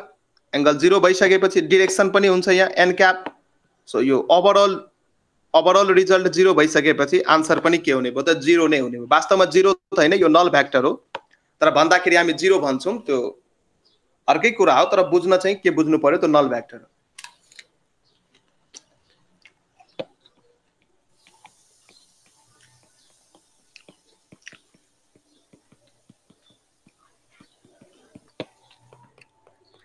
सो कुनै पनि युनिट भ्याक्टरको क्रस यदि त्यही भ्याक्टरसँग लिने हो भने आन्सर आउँछ नल भ्याक्टर यो पनि एउटा इम्पोर्टेन्ट पोइन्ट अब चाहिँ हामी आईको क्रस जेसँग लिन्छौँ। आई क्रस जे लिन्छौँ। सो आई क्रस जे लिँदाखेरि I cross J so I cross जब हामी जे लिन्छौँ सो यसको जुन रिजल्ट आउँछ अब म्याग्निट्युड त वान हुने भयो दुइटै भ्याक्टरको युनिट भ्याक्टर भइसकेपछि म्याग्निट्युड चाहिँ वान हुने भयो तर यसको डिरेक्सन चाहिँ एलोङ केतिर आउँछ र अर्डर हेर्नुहोस् हामी यो फर्स्ट अर्डरलाई फलो गर्दैछौँ। आई क्रस जे गर्दैछौँ। त्यसैले अर्डर हाम्रो फलो भएको छ। अगाडि लेख्नु पोजिटिभ बाँकी चाहिँ कुन रह्यो के रह्यो त माथि भयो के क्याप। यसरी चाहिँ लेख्न सक्नुहुन्छ। अथवा जे क्रस यदि आई गर्नुभयो भने जे क्रस आई गर्नु भने अर्डर चाहिँ हाम्रो ब्रेक भयो है यो। जे क्रस आई भनेको यो सेकेन्ड अर्डरमा पर्ने भयो अर्डर हेर्नुहोस्। जे क्रस आई त ओभरअल रिजल्ट हुन्छ नेगेटिभ नेगेटिभ कुन बाँकी छ? के क्याप बाँकी छ त माइनस के क्याप लेख्नुहोस्। यही अनुसार यदि जे जे क्याप क्रस के क्याप गर्नुभयो भने कुन अर्डर फ्लो हुन्छ? यो फर्स्ट अर्डर फ्लो हुन्छ हाम्रो। जेदेखि के त आन्सर हुन्छ पोजिटिभ। आन्सर हुन्छ पोजिटिभ। बाँकी के रह्यो? आई क्याप रह्यो। सो पोजिटिभ आई क्याप चाहिँ आन्सर भयो। त्यही अनुसार यदि K cap cross J cap गर्नुभयो भने के इन्टु जे गर्नुभयो भने यो सेकेन्ड अर्डर फ्लो हुन्छ। के इन्टु जे यो अर्डर है यो अर्डर यो अर्डर फ्लो हुन्छ। के इन्टु जे यसमा चाहिँ आन्सर हुन्छ नेगेटिभ बाँकी चाहिँ के रह्यो? I cap so minus I cap हुन्छ यसको आन्सर माइनस आई क्याप हुन्छ। त्यही अनुसार K cap cross I cap गर्नुभयो भने K cap cross I cap गर्नुभयो भने यो चाहिँ हुन्छ हाम्रो जे क्याप किनकि यहाँ हेर्नुहोस् के इन्टु आई यो फर्स्ट अर्डर फ्लो भयो अर्डर हाम्रो सेम छ। के के क्यापदेखि हामी आई क्याप मल्टिप्लाई गर्दैछौँ सो प्लस हुन्छ र रिमेनिङ कुन बच्यो? जे जे क्याप बच्यो सो प्लस जे क्याप हामी यहाँ लेख्छौँ। त्यही अनुसार यता यदि i cap cross k cap गर्नुभयो भने i cap cross k cap i cap cross k cap so second order flow हुने भयो। आईदेखि के जाँदैछौँ। अपोजिट अर्डरमा गइरहेछौँ। हामी जानुपर्ने हो आईदेखि जे अनि जेदेखि के यो अर्डरमा छ भने आईदेखि जे अथवा आई क्रस जे अथवा जे क्रस के अथवा के क्रस आई छ भने आन्सर हुन्छ पोजिटिभ। र यो अर्डर यदि विपरीत छ भने नेगेटिभ हुन्छ जुन रिमेनिङ हुन्छ त्यो चाहिँ लेख्नु। So i cross i cross k लेख्दाखेरि आई क्रस के लेख्दाखेरि नेगेटिभ हुने भयो। So negative of negative of j cap so यो मैले लेखेको बुझ्नुभयो कि नै मलाई भन्नुहोस् त। यो जुन कुरो मैले लेखेँ यहाँ यो सबै कुरा सार्नुहोस् त पहिला। यो सार्नुहोस्। यो सबै प्रोपर्टीहरू नुमेरिकल गर्ने बेला युज हुन्छ। ल। अब यसमै हामी अझै प्रोपर्टीहरू हेर्छौँ किनकि हामी आइओई अब यहाँ धेरै धेरै फ्याकल्टीको स्टुडेन्ट्सहरू हुनुहुन्छ। आइओई पोइन्ट अफ भ्यू त सिलेबस सिधिसक्यो हो। भ्याक्टरमा मैले तिनवटा लेक्चर गरिसकेँ। र धेरै कुराहरू मैले पढाएँ डेप्थमै पढाएँ। तर म यहाँ सबै इक्जामहरूलाई टार्गेटेड गरेर पढाइरहेको छु। सो यो भिडियो जुन छ यो बिएससी सिएसआइटीको लागि पनि युज हुन्छ आइओईको लागि पनि युज हुन्छ र हाम्रो एमबिबिएस अथवा बिडिएस प्रिपरेसन गर्ने स्टुडेन्ट्सहरूको लागि पनि युज हुन्छ है। सो भ्याक्टरमा हामीले पढ्नुपर्ने जति कुराहरू छ इम्पोर्टेन्ट इम्पोर्टेन्ट हाम्रो सिलेबस अनुसार त्यो चाहिँ हामी सबै कभर गर्छौँ। त्यसैले नोट चाहिँ बनाउनु होला आत्तिनु पर्दैन। नोट भयो भने सजिलो हुन्छ। अब यति भइसकेपछि यति भइसकेपछि अब केही इम्पोर्टेन्ट अब यो भ्याक्टर प्रोडक्टको मैले एकछिन यो माथि चेक गर्छु। यो एङ्गल सो एबी आयो। A cross B B cross A प्रपर्टिजहरूको कुरो गर्छु गरिसकेँ। सो यहाँ अर्को नोट भनेर लेख्नुहोस्। यो क्रस प्रोडक्टमै युज हुन्छ। मैले बताउन त बताइसकेँ त्यही पनि म लेखाइदिन्छु। So A vector cross B भ्याक्टरको magnitude maximum कति हुन्छ? यसको म्याग्निट्युड मात्रै कुरो गर्दैछौँ हामी। सो म्याक्सिमम फर्मुला चाहिँ हाम्रो के हो त? फर्मुला हो हाम्रो AB sine theta dot n cap so AB sine थिटाको value मलाई म्याक्सिमम चाहियो। यसको मतलब साइन थिटाको भ्याल्यु वान हुनु पर्यो। र साइन थिटा वान हुनको लागि थिटा चाहिँ कति हुनु पर्यो त नाइन्टी डिग्री हुनु पर्यो। सो नाइन्टी डिग्रीको केसमा ए भ्याक्टर क्रस बी भ्याक्टरको जुन म्याग्निट्युड हुन्छ त्यो हुन्छ म्याक्सिमम र म्याक्सिमम म्याग्निट्युड हुन्छ एबी किनकि म्याक्सिमम म्याग्निट्युड चाहिएको छ त्यसैले थिटा चाहिँ नाइन्टी डिग्री हुनु पर्यो र साइन थिटाको म्याक्सिमम भ्याल्यु वान हो त्यसैले त्यो वान हुनको लागि चाहिँ वान हुन साइन थिटाको म्याक्सिमम भ्याल्यु वान हो र साइन थिटाको म्याक्सिमम भ्याल्यु वान हुनको लागि थिटा चाहिँ नाइन्टी डिग्री हुनु पर्यो। सो म्याक्सिमम भ्याल्यु एबी हुन्छ। यो कुन बेला पोसिबल छ? If theta is equals to ninety degree that is theta is equals to ninety degree यसको मतलब vector A is perpendicular to vector B यदि दुईटा भ्याक्टर एक आपसमा पर्पेन्डिकुलर छ भने त्यो बेला चाहिँ त्यो भ्याक्टरको क्रस प्रोडक्टको म्याग्निट्युड हुन्छ AB and this is the maximum magnitude अर्को प्रोपर्टी हेर्नुहोस्। मिनिमम म्याग्निट्युड चाहिँ कुन बेला हुन्छ? मिनिमम म्याग्निट्युड हुनको लागि साइन थिटाको भ्याल्यु मिनिमम हुनु पर्यो द्याट इज जिरो हुनु पर्यो र जिरो हुनको लागि थिटा कि त जिरो हुनु पर्यो कि त वान एट्टी हुनु पर्यो। So A vector cross B भ्याक्टरको magnitude minimum हुन्छ। मिनिमम म्याग्निट्युड यसको जिरो हुन्छ। Zero is the minimum magnitude यो कुन बेला पोसिबल छ? If theta equals to zero degree अथवा वान एट्टी डिग्री यदि दुईटा भ्याक्टर प्यारलेल छ अथवा एन्टी प्यारलेल छ भने त्यति बेला त्यो दुइटै भ्याक्टरको भ्याक्टर प्रोडक्टको म्याग्निट्युड चाहिँ जिरो हुन्छ।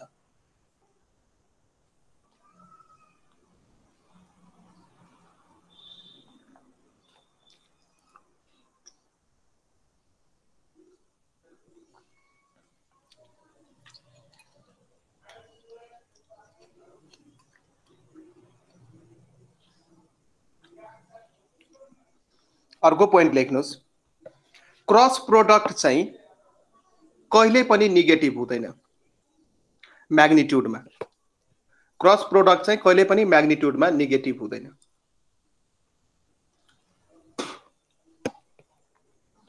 cross product cross product is never negative in magnitude म्याग्निट्युडमा कहिले नेगेटिभ हुँदैन। अब यदि लिमिट्सको कुरो गर्ने हो भने क्रस प्रोडक्टको लिमिट्स अथवा क्रस प्रोडक्टको भ्याल्यु कुन रेन्जदेखि कुन रेन्जसम्म भ्यारी हुन सक्छ लिमिट्सको कुरो गर्ने हो भने limits of A vector plus A vector plus B vector यसको लिमिट म्याग्निट्युडको लिमिट्सको कुरो गर्ने हो भने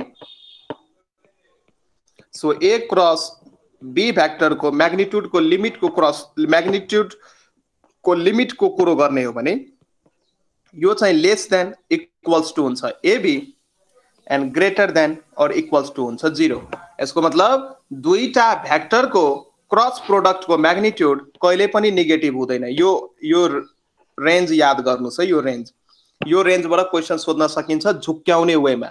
झुक्क्याउन सकिन्छ तपाईँलाई। सो नझुक्किनु।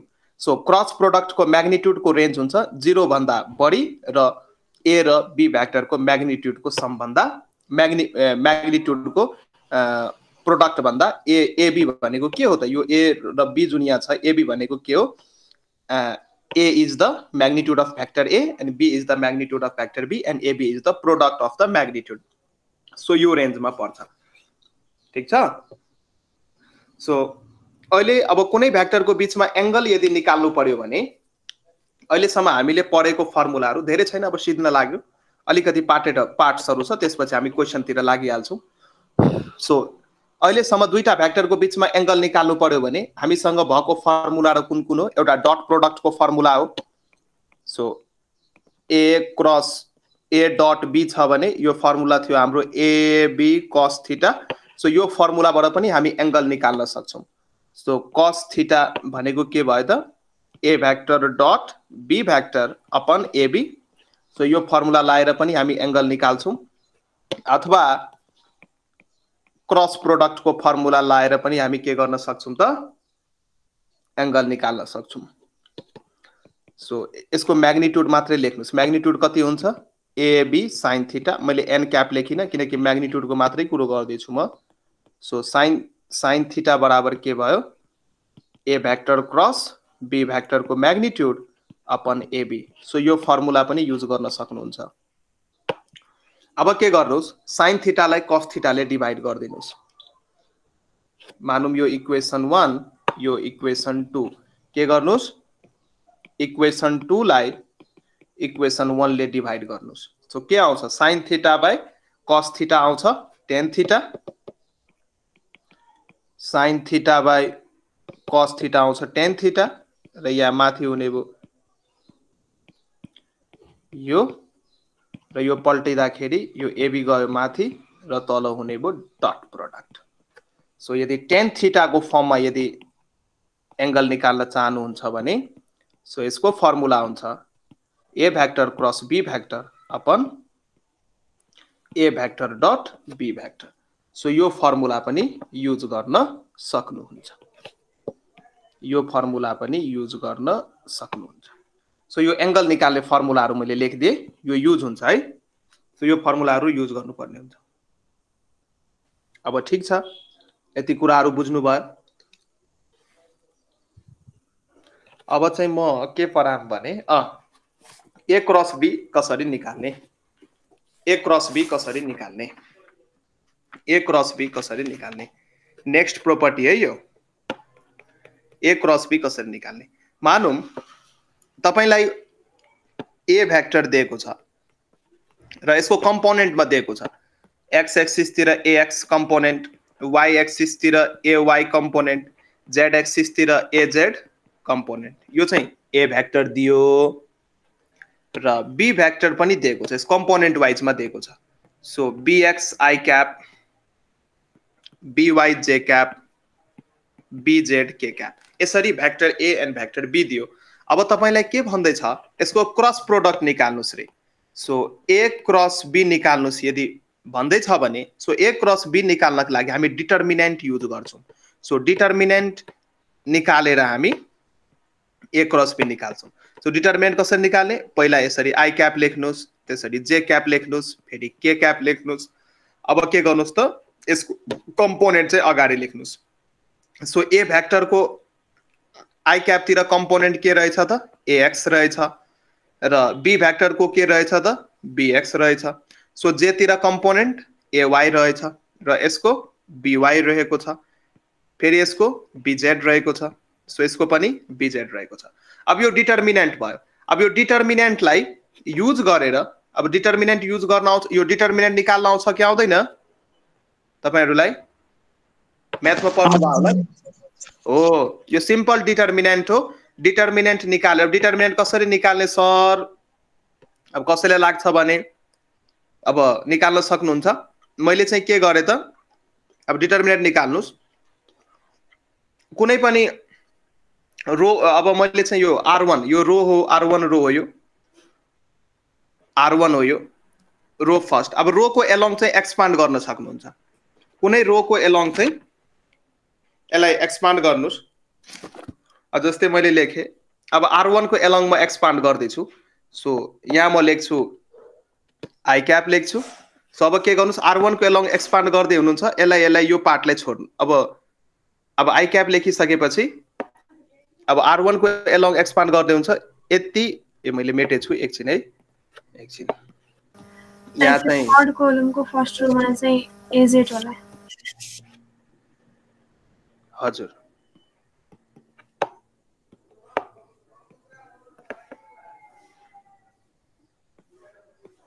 अब अब म चाहिँ के गर्दैछु आर वानको एलोङ एक्सपान्ड गर्दैछु त। सो यसमा चाहिँ यो यो लिन सक्नुहुन्छ। पहिला चाहिँ आई क्याप मैले लिएँ। त आई क्याप पर्ने रो र कलमलाई यसरी छोपिदिनुहोस्। सो कुन कुन भाग बाँकी रह्यो त्यो भाग यहाँ लेख्नुहोस्। बाँकी रहेको भाग। यहाँ चाहिँ रह्यो एवाई अर्को रह्यो एजेड त्यसपछि रह्यो बिवाई त्यसपछि रह्यो बिजेड। यो भयो। अब एकचोटि प्लस लिइसकेपछि फेरि माइनस लिनुपर्छ। माइनस जे क्याप लिनु पर्यो त्यसपछि। माइनस जे क्याप लिनु पर्यो सो अब जे क्याप पर्ने अब अघि जुन मैले यो छोप्न टेक्निक बताएको थिएँ अब जे क्याप जुन छ यो जे क्याप पर्ने रो र कलमलाई यसरी छोपिदिनुहोस्। जे क्याप पर्ने रो र कलमलाई छोपिदिनुहोस् यसरी। सो कुन कुन बाँकी रह्यो त्यो यहाँ लेख्नुहोस्। बाँकी रह्यो एएक्स यतापट्टि रह्यो एजेड यतापट्टि रह्यो बिएक्स यतापट्टि रह्यो बिजेड। त्यसपछि फेरि प्लस आउँछ। फेरि के क्याप लेख्नुहोस्। अब के गर्नुहोस्? यो के क्याप पर्ने रो र कलमलाई छोपिदिनुहोस्। यो के क्याप पर्ने रोलाई मैले कल रोलाई मैले यसरी छोपेँ र कलमलाई मैले यसरी छोपेँ। अब के के बाँकी छ? अब बाँकी रह्यो एएक्स बाँकी रह्यो A X B X A Y B Y so यसरी गर्न सक्नुहुन्छ। अब त यसलाई एक्सपान्ड गर्न सक्नुहुन्छ मजाले। सो आई क्याप लेख्नुहोस्। अब एक्सपान्ड गर्ने बेला डायगनली यो दुइटालाई मल्टिप्लाई गर्ने र मल्टिप्लाई गरेर यो दुइटालाई यस यसबाट घटाउने। सो मल्टिप्लाई गर्नुहोस्। आई क्याप भयो। यहाँ लेख्न सक्नुहुन्छ। Ay Bz minus By Az फेरि माइनस लेख्नु। जे क्याप भयो फेरि यसलाई पनि यो दुईटा दुईटा डाइ पहिला यो दुईटालाई मल्टिप्लाई गर्नुहोस् अनि मल्टिप्लाई गरेर यो दुईटालाई फेरि मल्टिप्लाई गरेर घटाउनुहोस्। सो यहाँ लेख्न सक्नुहुन्छ A X B Z A X B Z minus B X A Z लेख्न सक्नुहुन्छ। फेरि प्लस के क्याप हुने भयो? र यहाँ पनि के गर्नुहोस्? यो दुइटालाई पहिला मल्टिप्लाई गर्नुहोस् अनि यसमा चाहिँ यो दुइटालाई मल्टिप्लाई गरेर घटाउनुहोस्। यहाँ लेख्न सक्नुहुन्छ A X B Y A X B Y minus B X A Y यसरी लेख्न सक्नुहुन्छ। एनी कन्फ्युजन एनी कन्फ्युजन यसरी चाहिँ यसरी चाहिँ क्रस प्रोडक्ट निकाल्न सक्नुहुन्छ है? यसरी चाहिँ सो फर्मुला चाहिँ नघोक्नु किताबमा क्रस प्रोडक्टकै फर्मुला यही फर्मुला दिएको हुन्छ। र किताबमा हेर्नु भने यहाँ यदि यहाँ यही फर्मुलामा यदि प्लस साइन लिन चाहनुहुन्छ भने यस्तो नै मोडिफाई गरे हुन्छ है फर्मुला किताबमा। सो कन्फ्युज चाहिँ नहुनु। कन्फ्युज चाहिँ नहुनु। फर्मुलालाई यसरी पनि लेख्या हुन्छ। A Y B Z minus B Y A Z यता चाहिँ आई क्याप र यो जुन माइनस माइनस जे क्याप छ माइनस कमन लिएर यसलाई प्लस बनाइदिनुहोस्। माइनस कमन लिनुहोस्। माइनस कमन लिइसकेपछि जुन माइनस पार्ट थियो त्यो प्लस भएर अगाडि आउँछ। B X A Z minus A X B Z हुने भयो। यहाँ चाहिँ जे क्याप हुने भयो। फेरि plus A X B Y minus B X A Y र यहाँ चाहिँ के क्याप? सो माइनसको फर्ममा नि आन्सर याद गर्न सक्नुहुन्छ प्लसको फर्ममा नि याद गर्न सक्नुहुन्छ। म त भन्छु के याद नगर्नु खालि यो डिटर्मिनेन्ट लेख्नु र एक्सपान्ड गर्न सिक्नुहोस्। कुनै आर वान सधैँ रो वानकै एलोङ एक्सपान्ड गर्नुहोस् र एकछिनमै यो डिटर्मिनेन्ट निकाल्न सक्नुहुन्छ। कुनै फर्मुलाहरू घोक्नु पर्दैन। मास्टर्स फर्मुलाहरू मैले बताएको छु। त्यो फर्मुला चाहिँ दिमागमा राख्नु र यो के भन्छ यो? यो नोट चाहिँ राम्ररी रिभाइज गरिसकेपछि केही फर्मुलाहरू घोक्नु पर्दैन। केही फ- फर्मुलाहरू घोक्नु पर्दैन। यति भयो भने हामी मजाले गर्न सक्छौँ। अब चाहिँ अब चाहिँ हामी कहिलेकाहीँ अलिकति क्वेसन्सहरू यो मेडिकलतिर अथवा आइओतिर पनि सोध्न सकिन्छ। कहिलेकाहीँ क्वेसन चाहिँ कस्तो खालको सोध्छ भने यो प्रोजेक्सन अथवा कम्पोनेन्ट निकाल भनेर सोध्छ कि कहिलेकाहीँ? प्रोजेक्शन अथवा कंपोनेंट सो यो पनि लेख्नुस् component and projection of vector on another vector component component and projection of vector component and projection of vector on another vector. So component and projection अब हामी लिन सिक्छौँ। Component and projection of vector on an vector पहिला चाहिँ हामी प्रोजेक्सनको कुरो गरिहालौँ। Projection हामी कसरी लिन्छौँ? सो पहिला प्रोजेक्सनको कुरो गरौँ। सो मानौँ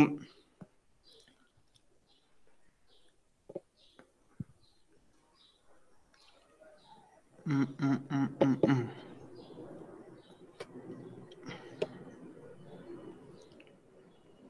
यो चाहिँ मेरो भ्याक्टर ए हो.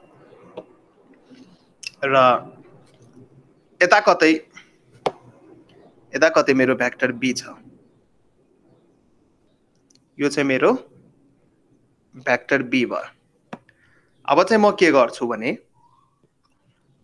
अब चाहिँ म के गर्छु भने यो भ्याक्टर ए को टेल र हेडबाट पर्पेन्डिकुलर ड्र गर्छु म भ्याक्टर बीमा र यो होरिजेन्टल भयो।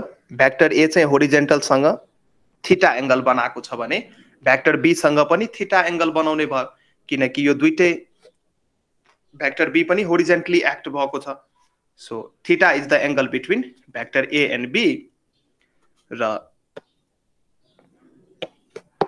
यो पर्पेन्डिकुलरको नाम मैले यो पोइन्टको नाम मैले दिएँ एम र यो पोइन्टको नाम दिएँ मैले एन यो नाम दिन सक्नुहुन्छ केही फरक पर्दैन। ठिक छ?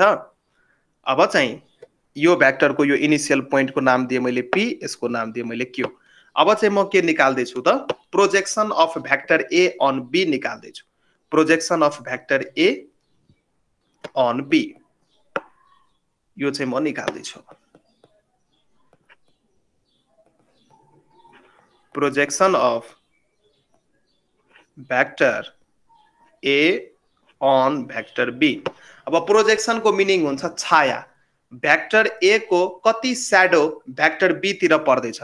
यसको मतलब यति स्याडो परिरहेछ कि यहाँ?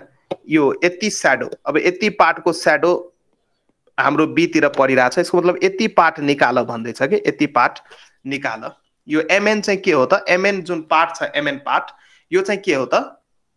प्रोजेक्सन हो। एमएन पार्ट भनेको प्रोजेक्सन हो। छाया हो अथवा भ्याक्टर यो माथिबाट यदि लाइट माथिबाट यसरी लाइट यदि फाल्नुहुन्छ भने भ्याक्टर एले यति पार्टमा चाहिँ छाया क्रिएट गर्छ। स्याडो बनाउँछ। त्यसलाई नै हामी प्रोजेक्सन भन्छौँ। सो कति पार्टमा स्याडो बनायो? यो क्वेसन सोध्या छ है सोधिन्छ पनि कम्पिटेटिभ इक्जाममा सो हाम्रो प्रोजेक्सन चाहिँ कति रहेको छ त?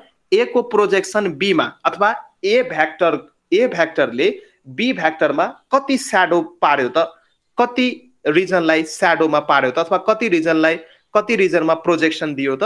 त्यो रिजन हो हाम्रो एमएन भ्याक्टर बीको एमएन पार्टमा चाहिँ प्रोजेक्सन भएको छ। So projection of vector A on B equals to म एमएन लेख्न सक्छु। एमएन पार्टमा यति पार्टमा मेरो प्रोजेक्सन भएको छ। र एमएन भनेको के हो फेरि? एमएन भनेको के हो त? भ्याक्टर ए को कम्पोनेन्ट हो। अब जस्तै यो पार्ट यदि मलाई यो कम्पोनेन्ट यति यहाँदेखि यहाँसम्म लेख्नु छ भने यो भनेको के हो त? ए कस थिटा हो। हो कि होइन? हिजो मैले बना हिजो मैले बताएको थिएँ तपाईँहरूलाई। सो थिटासँगको कम्पोनेन्ट चाहिँ के हुन्छ त? कससँग जान्छ? सो ए कस थिटा हुने भयो। सो एमएनको ठाउँमा म के लेख्न सक्छु? एमएनको ठाउँमा ए कस थिटा लेख्न सक्छु। यो बुझ्नुभयो कि भएन? मलाई भन्नुहोस् त। हेलो बुझ्यो सर। हो। सो एमएनको ठाउँमा ए कस थिटा लेख्न सक्छु। अब मैले के गरेँ? माथि पनि बीले मल्टिप्लाई गरेँ र डिभाइड पनि बीले गरेँ। सो केही फरक पर्दैन। बिबी क्यान्सल भयो ए कस थिटा नै हुने भयो। तर ए अब यो म किन डिभाइड गरेँ त एउटा सर्टेन फर्मुलामा लान खोज्दैछु। सो माथि के भयो? AB cos theta AB cos theta भनेको के हो त? भ्याक्टर ए र भ्याक्टर बीको डट प्रोडक्ट हो अपन बी यो फर्मुला पनि लेख्न सक्नु यो सबै फर्मुला हो यो प्रोजेक्सन निकाल्ने फर्मुला प्रोजेक्सन निकाल्ने फर्मुला अथवा यति पार्टलाई कन्सिडर गरेर यति पार्ट जुन छ यति पार्टलाई कन्सिडर गरेर तपाईँ के लेख्न सक्नुहुन्छ? Vector A dot बीको unit cap so this is the formula यदि प्रोजेक्सन निकाल्नु पर्यो भने यदि भ्याक्टर ए को प्रोजेक्सन भ्याक्टर बीमा निकाल्नु पर्यो भने के गर्नु पर्यो? भ्याक्टर ए को डट लिनु पर्यो बी क्यापसँग जुन भ्याक्टरको एलोङ जुन भ्याक्टरको एलोङ प्रोजेक्सन निकाल्नु छ त्यो भ्याक्टरको युनिट भ्याक्टर लिनु पर्यो। र त्यसलाई चाहिँ गिभन भ्याक्टरसँग डट प्रोडक्ट गर्नु पर्यो सो यो रिलेसन बुझ्नुभयो यो मैले लेखेको यो पोइन्ट सो बी भ्याक्टरको एलोङ यदि प्रोजेक्सन निकाल्नु छ भने बी भ्याक्टरको हामी युनिट भ्याक्टर लिन्छौँ र त्यसलाई चाहिँ ए भ्याक्टरसँग डट प्रोडक्ट गर्छौँ। क्लियर अब म कम्पोनेन्टतिर जाँदा हुन्छ। हेलो हुन्छ सर। ओके र एउटा कुरा चाहिँ बुझ्नुहोस्। यो प्रोजेक्सन चाहिँ एस्क्यालर हो है। प्रोजेक्सन भनेको एस्क्यालर क्वान्टिटी हो, तर कम्पोनेन्ट भनेको भ्याक्टर क्वान्टिटी हो। सेम कहानी हो, तर प्रोजेक्सन एस्क्यालर कम्पोनेन्ट भ्याक्टर अब कम्पोनेन्टतिर हामी जाऊँ। कम्पोनेन्टतिर so component component of vector A along vector B. So component यदि भन्या छ भने हामी कम्पोनेन्ट भनेको भ्याक्टर हो त्यसैले यसलाई चाहिँ हामी एमएन भ्याक्टर भन्छौँ यहाँ एमएन योभन्दा अगाडि चाहिँ मैले म्याग्निट्युड मात्रै लेखेको थिएँ एमएन मात्रै लेखेको थिएँ किनकि प्रोजेक्सन भनेको एउटा एस्क्यालर सेन्स मात्रै दिन्छ म्याग्निट्युड मात्रै भइपुग्यो तर कम्पोनेन्टले चाहिँ एउटा भ्याक्टरको सेन्स दिन्छ सो मैले एमएन भ्याक्टर लेखेँ। सो एमएन भ्याक्टरलाई एमएन भ्याक्टरलाई म के लेख्न सक्छु? एमएनको म्याग्निट्युड र एमएन कतातिर छ? Along vector B so M N भ्याक्टरको direction पनि बी भ्याक्टरतिर नै हुने भयो। यो एमएन भ्याक्टर जुन छ यसको डिरेक्सन पनि बी भ्याक्टरतिरै हुने भयो। यसको मतलब बी भ्याक्टरको युनिट युनिट भ्याक्टरले यदि मैले मल्टिप्लाई गरिदिएँ भने काम मेरो हुने भयो। हुने भयो कि भएन हेर्नुहोस् त। यो मैले एमएन भ्याक्टरलाई म एमएन बी क्याप लेख्न सक्छु। हिजोको कुरा याद छ कि छैन? सपोज यदि यो ए भ्याक्टर छ भने यसलाई हामी यसरी पनि लेख्न सक्छौँ। ए टाइम्स ए क्याप लेख्न सक्छु नि? युनिट भ्याक्टरको कुराहरू त्यही मैले गरेँ। एमएन भ्याक्टरलाई एमएनले म्याग्निट्युड रिप्रेजेन्ट गर्ने भयो अनि यो एमएनको direction is along B vector त्यसैले बी भ्याक्टरको युनिट भ्याक्टरले मैले मल्टिप्लाई गरिदिएँ। ठिक छ? अब एमएन भने ओके ओके ओके। फेरि एमएनको ठाउँमा के लेख्न सकिन्छ? ए कस थिटा लेख्न सकिन्छ। हो कि होइन एमएनको ठाउँमा फेरि ए कस थिटा लेख्न सकिन्छ।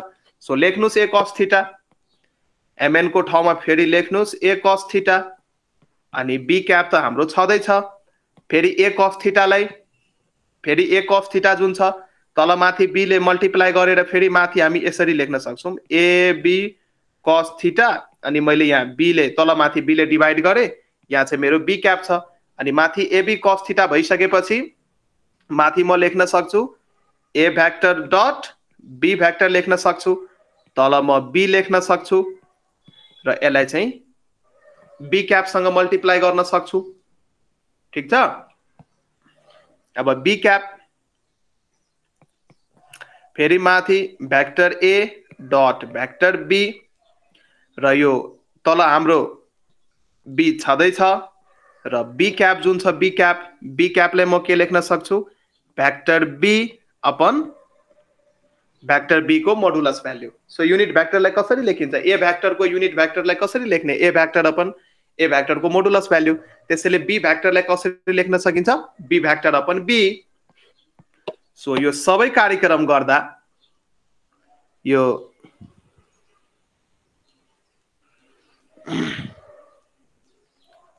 अब हेर्नुहोस् अब यसलाई चाहिँ कसरी लेख्न सकिन्छ भने यसलाई चाहिँ कसरी लेख्न सकिन्छ भने?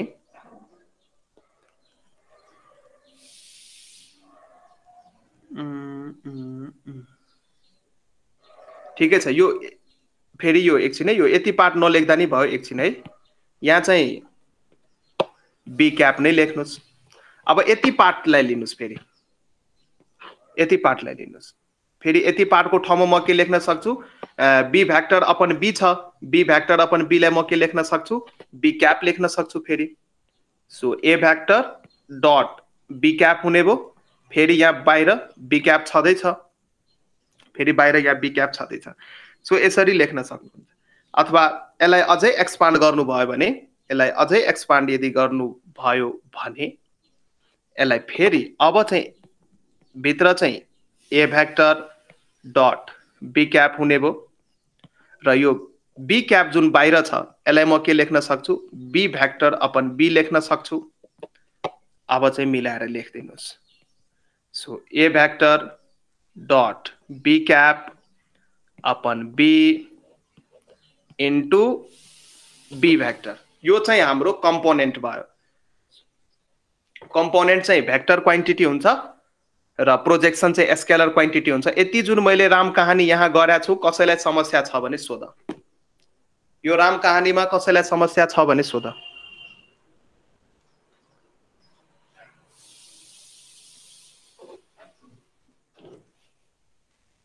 सो सो सो सो कुनै पनि भ्याक्टरको कम्पोनेन्ट सपोज ए भ्याक्टरको कम्पोनेन्ट बी भ्याक्टरतिर यदि निकाल्न क्वेसनमा सोध्दैछ भने सर्वप्रथम के गर्नु पर्यो? ए भ्याक्टरको डट बी क्यापसँग लिनु पर्यो। त्यसलाई चाहिँ बी भ्याक्टरको म्याग्निट्युडसँग डिभाइड गर्नु पर्यो। त्यसपछि चाहिँ फेरि बी भ्याक्टरसँग मल्टिप्लाई गर्नु पर्यो।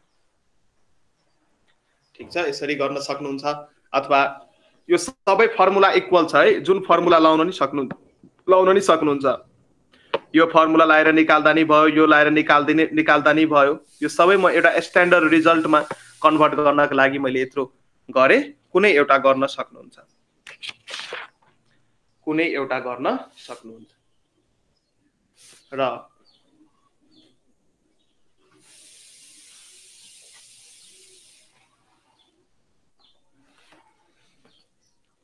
त्यसैले अब अझै केही पोइन्टहरू लेख्नुहोस्।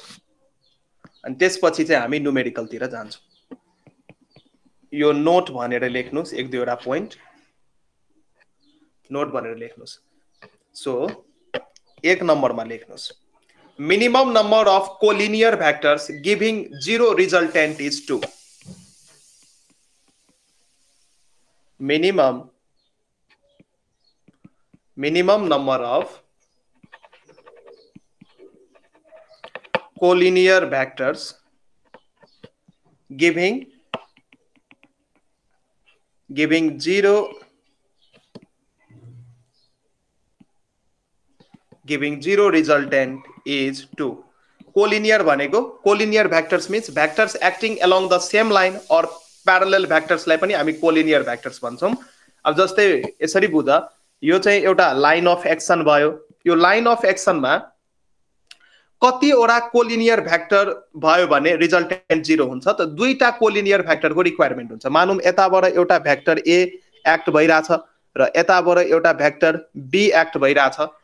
र यदि यो दुइटैको म्याग्निट्युड सेम छ भने यो दुइटै भ्याक्टरको म्याग्निट्युड मानौँ यो भ्याक्टर ए हो र यो भ्याक्टर बी हो यो दुइटैको म्याग्निट्युड सेम छ भने रिजल्टेन्ट के हुन्छ? जिरो हुन्छ। यो इक्जाम्पल त सबैलाई थाहा छ मानौँ एउटा ब्लक छ अरे। यो ब्लकलाई एउटा राम बहादुरले राइटतिर टु न्युटनले तान्दैछ र अर्को श्याम बहादुरले लेफ्टतिर टु न्युटनले तान्दैछ। अब हेर्नुहोस् त यो दुइटै भ्याक्टरको लाइन अफ एक्सन सेम हो। एउटै लाइनको एलङ दुइटै भ्याक्टर एक्ट गरिरहेछ र दुइटै भ्याक्टरको म्याग्निट्युड सेम छ भने यो ब्लकमा नेट फोर्स कति हुन्छ? जिरो हुन्छ कि हुँदैन प्रभापन्थीज्यू भन्नुहोस् भन्नुहोस्। नेट फोर्स जिरो हुन्छ। त्यसैले दुईटा कोलिनियर भ्याक्टरको रिजल्टेन्ट यदि जिरो पार्नु छ भने मिनिमम हामीलाई कतिवटा भ्याक्टरको रिक्वायरमेन्ट हुन्छ त? दुईटा भ्याक्टरको रिक्वायरमेन्ट हुन्छ। यस्तो क्वेसन सोध्या छ है सोध्या छ। म जब गराउँछु तब थाहा पाउनुहुन्छ। यस्तो झुक्क्याउनको लागि यस्तो थ्योरिटिकल क्वेसन्स पनि सोधिन्छ। विद्यार्थीको थ्योरिटिकलमा कतिको पकड छ अथवा विद्यार्थीले साँच्चीकै पढ्या छ कि घोक्या छ त्यो चेक गर्नको लागि यस्तो यस्तो क्वेसन्स पनि सोधिरहेछन्। सोधिरहेछन्। सो यो पोइन्टहरू एकदमै इम्पोर्टेन्ट हुन्छ। नोट भनेर जुन म पोइन्टहरू लेखाउँछु त्यो एकदमै इम्पोर्टेन्ट हुन्छ। त्यो इक्जाममा सोधिसकेको कुराहरू हो। अर्को अर्को कुरा लेख्नुहोस्। अर्को अर्को पोइन्ट लेख्नुहोस्। अर्को पोइन्टले चाहिँ के भन्छ भने minimum number of collinear vectors of unequal magnitudes giving zero यदि दुईटा कोलिनियर भ्याक्टरको म्याग्निट्युड यदि सेम छ भने दुईटा कोलिनियर भ्याक्टरको म्याग्निट्युड यदि सेम छ भने त्यति बेला त्यसको रिजल्टेन्ट जिरो हुन्छ। र यदि म्याग्निट्युड सेम छैन भने कम्तीमा हामीलाई तिनवटा कोलिनियर भ्याक्टर चाहियो रिजल्टेन्ट लाई ज़ीरो पार्नको लागि। कम्तीमा तिनवटा चाहियो। सो अर्क पॉइंट लेख्नुहोस्। So minimum number of collinear vectors minimum numbers of collinear vectors of unequal magnitude unequal छ of unequal magnitude giving zero resultant is 3 giving zero resultant is 3 so resultant यदि zero पाउनु छ यदि हामीलाई zero resultant चाहियो overall value of the resultant हामीलाई zero चाहियो र र तिनटै भ्याक्टर कोलिनियर छ भने र त्यसको म्याग्निट्युड यदि सेम छैन भने तिनवटा कोलिनियर भ्याक्टरको रिक्वायरमेन्ट हुन्छ। फेरि सुन्नुहोस्। रिजल्टेन्ट मलाई जिरो पार्नु छ र कोलिनियर भ्याक्टर मलाई दिएको छ जसको म्याग्निट्युड सेम छैन र हामीलाई सोध्दैछ कतिवटा अनइक्वल म्याग्निट्युड भएको कोलिनियर भेक्टर तिमीलाई दिँदा रिजल्टेन्ट तिमी जिरो पार्न सक्छौ। यदि यस्तो कसैले सोध्दैछ भने our answer is three so तिनवटा अनइक्वल म्याग्निट्युड्स भएको कोलिनियर भेक्टर्स चाहियो रिजल्टेन्ट जिरो पार्नको लागि। रिजल्टेन्ट जिरो पार्नको लागि र यदि कोप्लानर भेक्टरको कुरो गर्ने हो भने coplanar vectors means vectors lying in the same plane so minimum तिनवटा कोप्लानर भेक्टर्स चाहिन्छ जसले चाहिँ रिजल्टेन्ट थ्री जसले चाहिँ रिजल्टेन्ट जिरो दिन्छ So minimum number of coplanar vectors. Coplanar means vectors lying in the same plane. Coplanar vectors giving zero resultant is 3.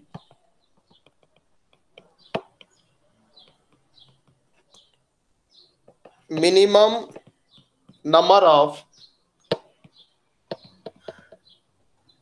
of coplanar vectors giving giving zero resultant is 3 तिनवटा coplanar vector चाहिन्छ अब यो कुरालाई अलिकति बुझौँ त हामी जस्तै मानौँ दुईवटा भ्याक्टर तपाईँलाई यसरी दिएको छ अरे एउटा प्लेनमा।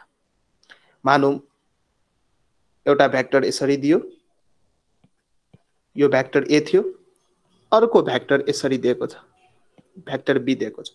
अब यो दुइटाको रिजल्टेन्ट त प्यारलोग्राम लबाट हामी निकाल्न सक्छौँ। यो दुइटाको रिजल्टेन्ट यता कति आयो रे। यता यो सबै कोपलानर भ्याक्टर हो। ए र बी चाहिँ कोपलानर भ्याक्टर हो। अब हेर्नुहोस् भ्याक्टर ए र भ्याक्टर बीको रिजल्टेन्ट यतापट्टि आयो। र अर्को कुनै भ्याक्टर सपोज तपाईँलाई मानौँ भ्याक्टर पी दिएको छ यसरी दिएको छ प्लेनमा। भ्याक्टर पी चाहिँ यसरी दिएको छ।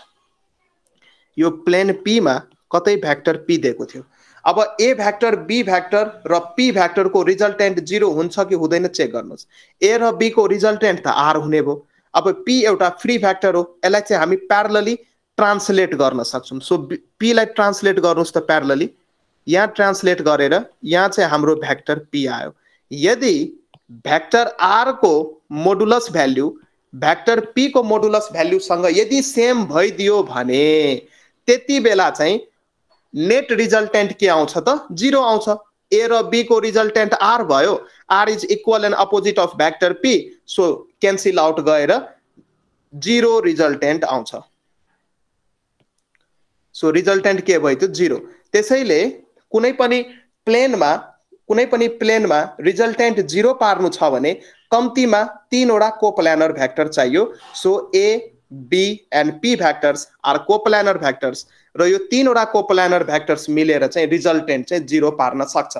सो दुईटा भ्याक्टर कोप्लानर भ्याक्टर दिएर यदि रिजल्टेन्ट जिरो पार्न सकिन्छ भनेर क्वेसनले सोध्छ भने आन्सर हो नो। दुईटा भ्याक्टरले कहिले पनि दुईटा कोप्लानर भ्याक्टरले कहिले पनि रिजल्टेन्ट जिरो दिन सक्दैन तर दुईटा कोलिनियर भ्याक्टरले चाहिँ दिन सक्छ। सो यो टर्महरू चाहिँ ध्यान राख्नुहोस्। कोलिनियर कोप्लानर यसरी सोधि दिइरह हुन्छ अप्सनमा। सो कोलिनियर भन्या छ कि कोप्लानर भन्या छ कि त्यो कुरोहरू चाहिँ हेर्नु पर्यो। र यदि नन कोप्लानर भ्याक्टर छ भने यदि नन कोप्लानर भ्याक्टर छ भने त्यति बेला रिजल्टेन्ट जिरो पार्नको लागि हामीलाई चारवटा भ्याक्टर चाहिएको हुन्छ। So in case of non coplanar हामीलाई चारवटा भ्याक्टरको रिक्वायरमेन्ट हुन्छ। सो अर्को पोइन्ट हो यो। अर्को पोइन्टमा लेख्नुहोस्। कोप्लानर छ भने तिनवटाले काम गर्ने भयो। Coplanar means lying in the same plane र यदि नन कोप्लानर छ भने रिजल्टेन्ट जिरो पार्न चारवटा भ्याक्टर चाहियो। चारवटा नन कोप्लानर भ्याक्टर चाहियो। So minimum number of so minimum number of non coplanar vectors giving giving zero resultant giving zero resultant is 4 चारवटा हामीलाई चाहिन्छ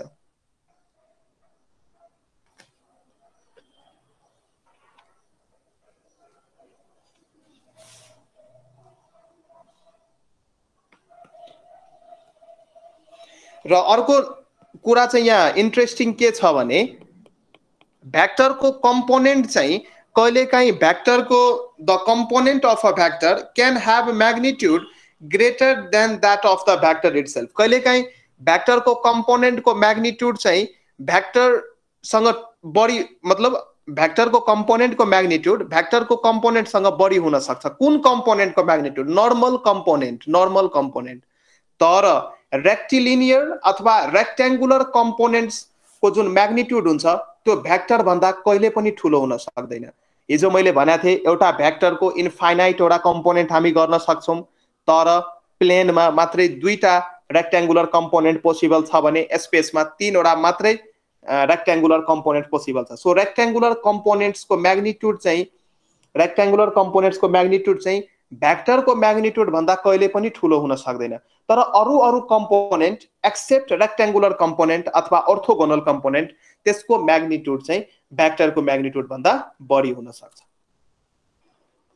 यति भइसकेपछि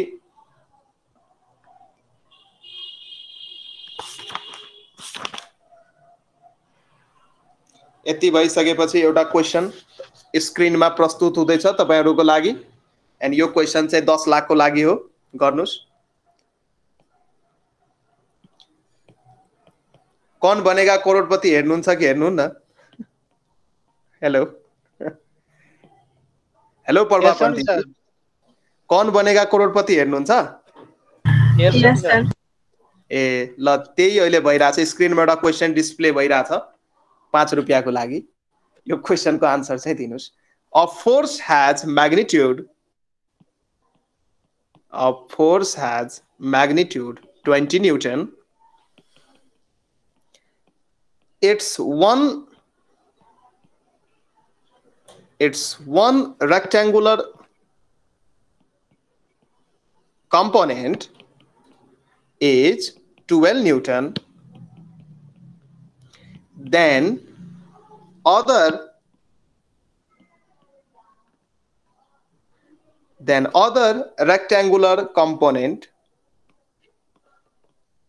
Then other rectangular component must be option number A 8 Newton, option number B 14 Newton, option number C 16 Newton, option number D 32 Newton. A force has magnitude एउटा फोर्सको magnitude twenty newton दिएको छ। यसको एउटा रेक्ट्याङ्गुलर कम्पोनेन्ट बाह्र newton हो भने अर्को रेक्ट्याङ्गुलर कम्पोनेन्ट कति हुन्छ त्यो झिक्नुहोस् 8 Newton. At newton. पहिला एकचोटि मजाले सिक्नुहोस् एकचोटि गर्नुहोस् है गर्नुहोस् त्यतिकै। क्वेसन हेरेरै त्यो चाहिँ नगर्नुहोस् एकचोटि गर्नुहोस्। एकचोटि कपीमा गर्नुहोस्।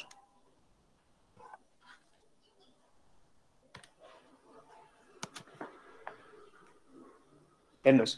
यो क्वेसन अगाडिको क्वेसन हामीले कसरी गर्न सक्छौँ भने a force has magnitude of twenty newton it's one rectangular component is twelve newton then other rectangular component must be यसको आन्सर हुन्छ सिक्सटी न्युटन कसरी गर्ने? यो ट्वेन्टी न्युटन हामीलाई दिएको छ। यसको एक्स कम्पोनेन्ट भयो टुवेल्भ न्युटन मैले एफएक्स टुवेल्भ माने एफवाई थाहा भएन सो एफवाई निकाल्नु पर्ने छ। सो एफ फोर्सलाई हामी यसरी लेख्न सक्छौँ। यसको म्याग्निट्युड भ्याल्युलाई हामी एफएक्सको स्क्वायर प्लस एफवाईको स्क्वायरको अन्डर रुट भ्याल्यु लिएर गर्न सक्छौँ। सो एफको म्याग्निट्युड क्वेसनमा ट्वेन्टी न्युटन दिएको छ। सो यो रिलेसन युज गरेर हामी नेक्स्ट कम्पोनेन्ट चाहिँ सिक्सटी न्युटन निकाल्न सक्छौँ। त्यही अनुसार अर्को क्वेसन छ यहाँ।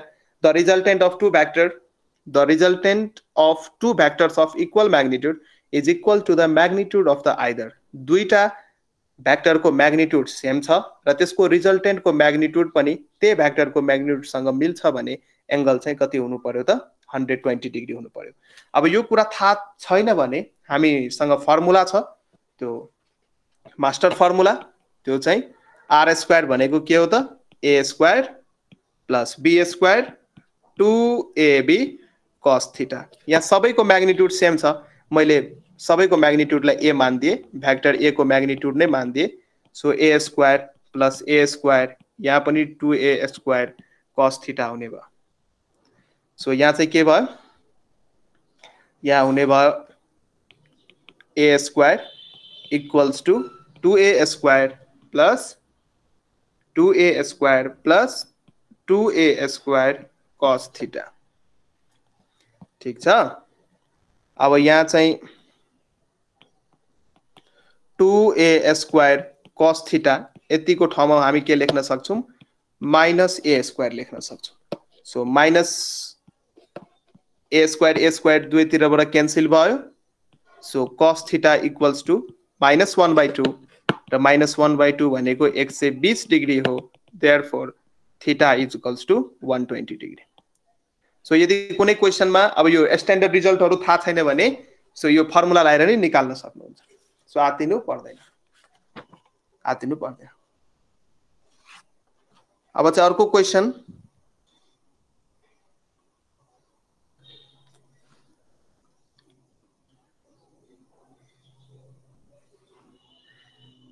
अब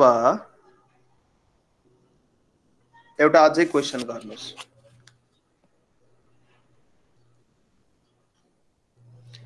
एक लाइनमा आन्सर दिनुहोस् है मलाई। क्वेसन यो एकदमै सजिलो छ कि नलेखौँ भन्ने हुन्छ, त्यही पनि सबै क्वेसन हामीले two A vector and B vector are such that a vector plus b vector को modulus value is equals to a vector minus b vector को modulus value then angle between vectors a and vector b is यो equal छ भने यस्तो situation छ भने angle चाहिँ कति हुनु पर्यो? मोडुलस भ्याल्यु सेम छ दुइटैको। एङ्गल चाहिँ कति हुनु पर्यो? जिरो डिग्री हुनु पर्यो कि सिक्सटी डिग्री हुनु पर्यो कि नाइन्टी डिग्री हुनु पर्यो कि एक सय अस्सी डिग्री हुनु पर्यो?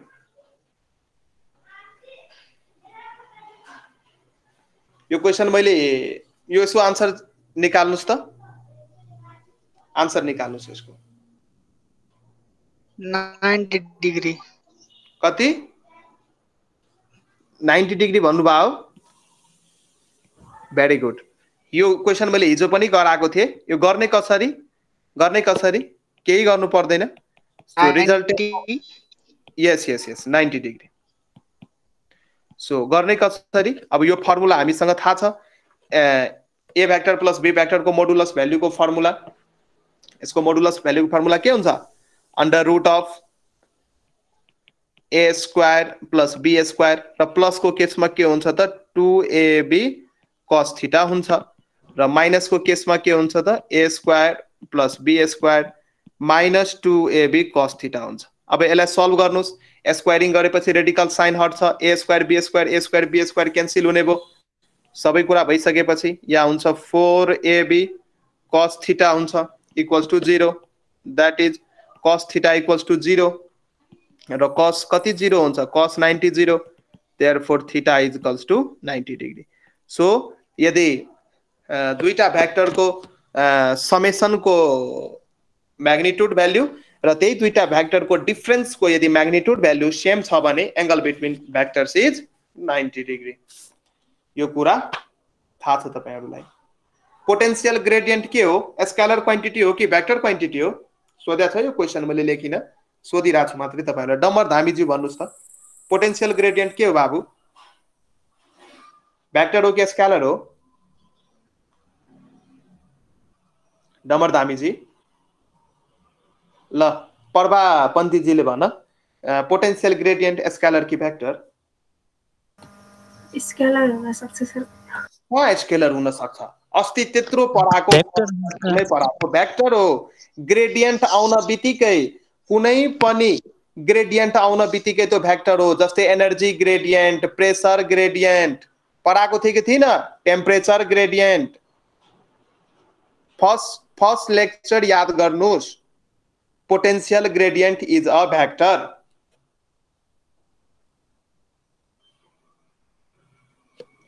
ठिक छ।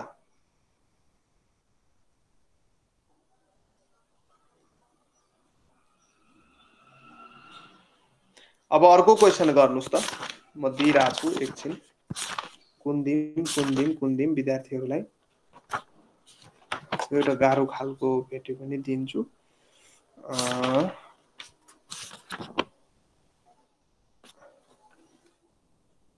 ल एउटा क्वेसन गर्नुहोस्। Next question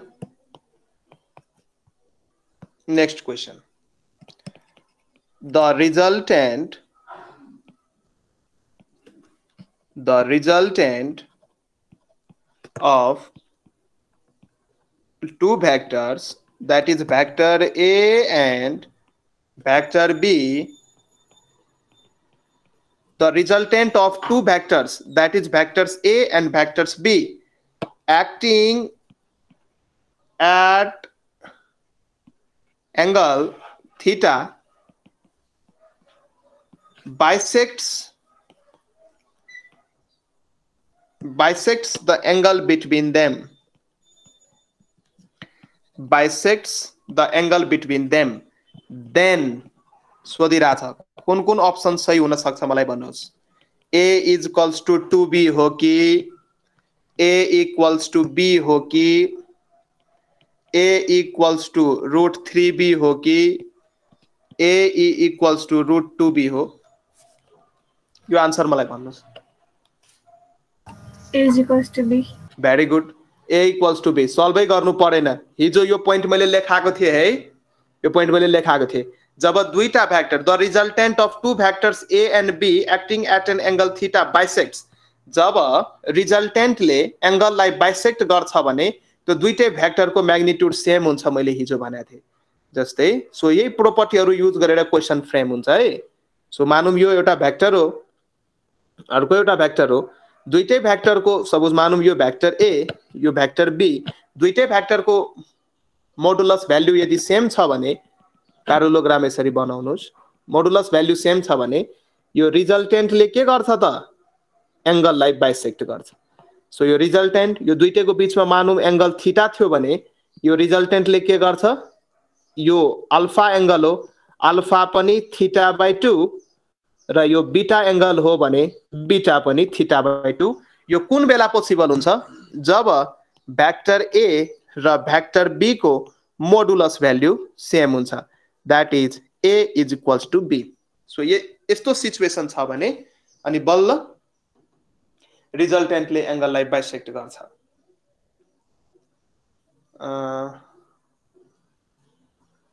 ठिकै छ? ल ठिकै छ। आज चाहिँ हामी यतिसम्म गरौँ भोलि चाहिँ हामी अझै क्वेसन्स अब यो च्याप्टर हाम्रो सिद्धियो। अब चाहिँ हामी क्वेसन्स मात्रै प्र्याक्टिस गर्छौँ। सो एउटा लेक्चर म अझै लिन्छु दुई तिन घन्टाको। त्यसमा चाहिँ इम्पोर्टेन्ट इम्पोर्टेन्ट क्वेसन आइओईमा सोधेको आइओएममा सोधेको अथवा अरू अरू इक्जाममा पनि म कलेक्सन गरेर सबै क्वेसन्सहरू अर्को क्लासमा चाहिँ यो भ्याक्टरको इम्पोर्टेन्ट इम्पोर्टेन्ट क्वेसन जुन इक्जाममा सोध्या छ र सोध्ने पोसिबिलिटी छ त्यो सबै म नेक्स्ट क्लासमा गर्छु। सो तपाईँहरूसँग बिन्ती एउटा मेरो सानो रिक्वेस्ट के हो?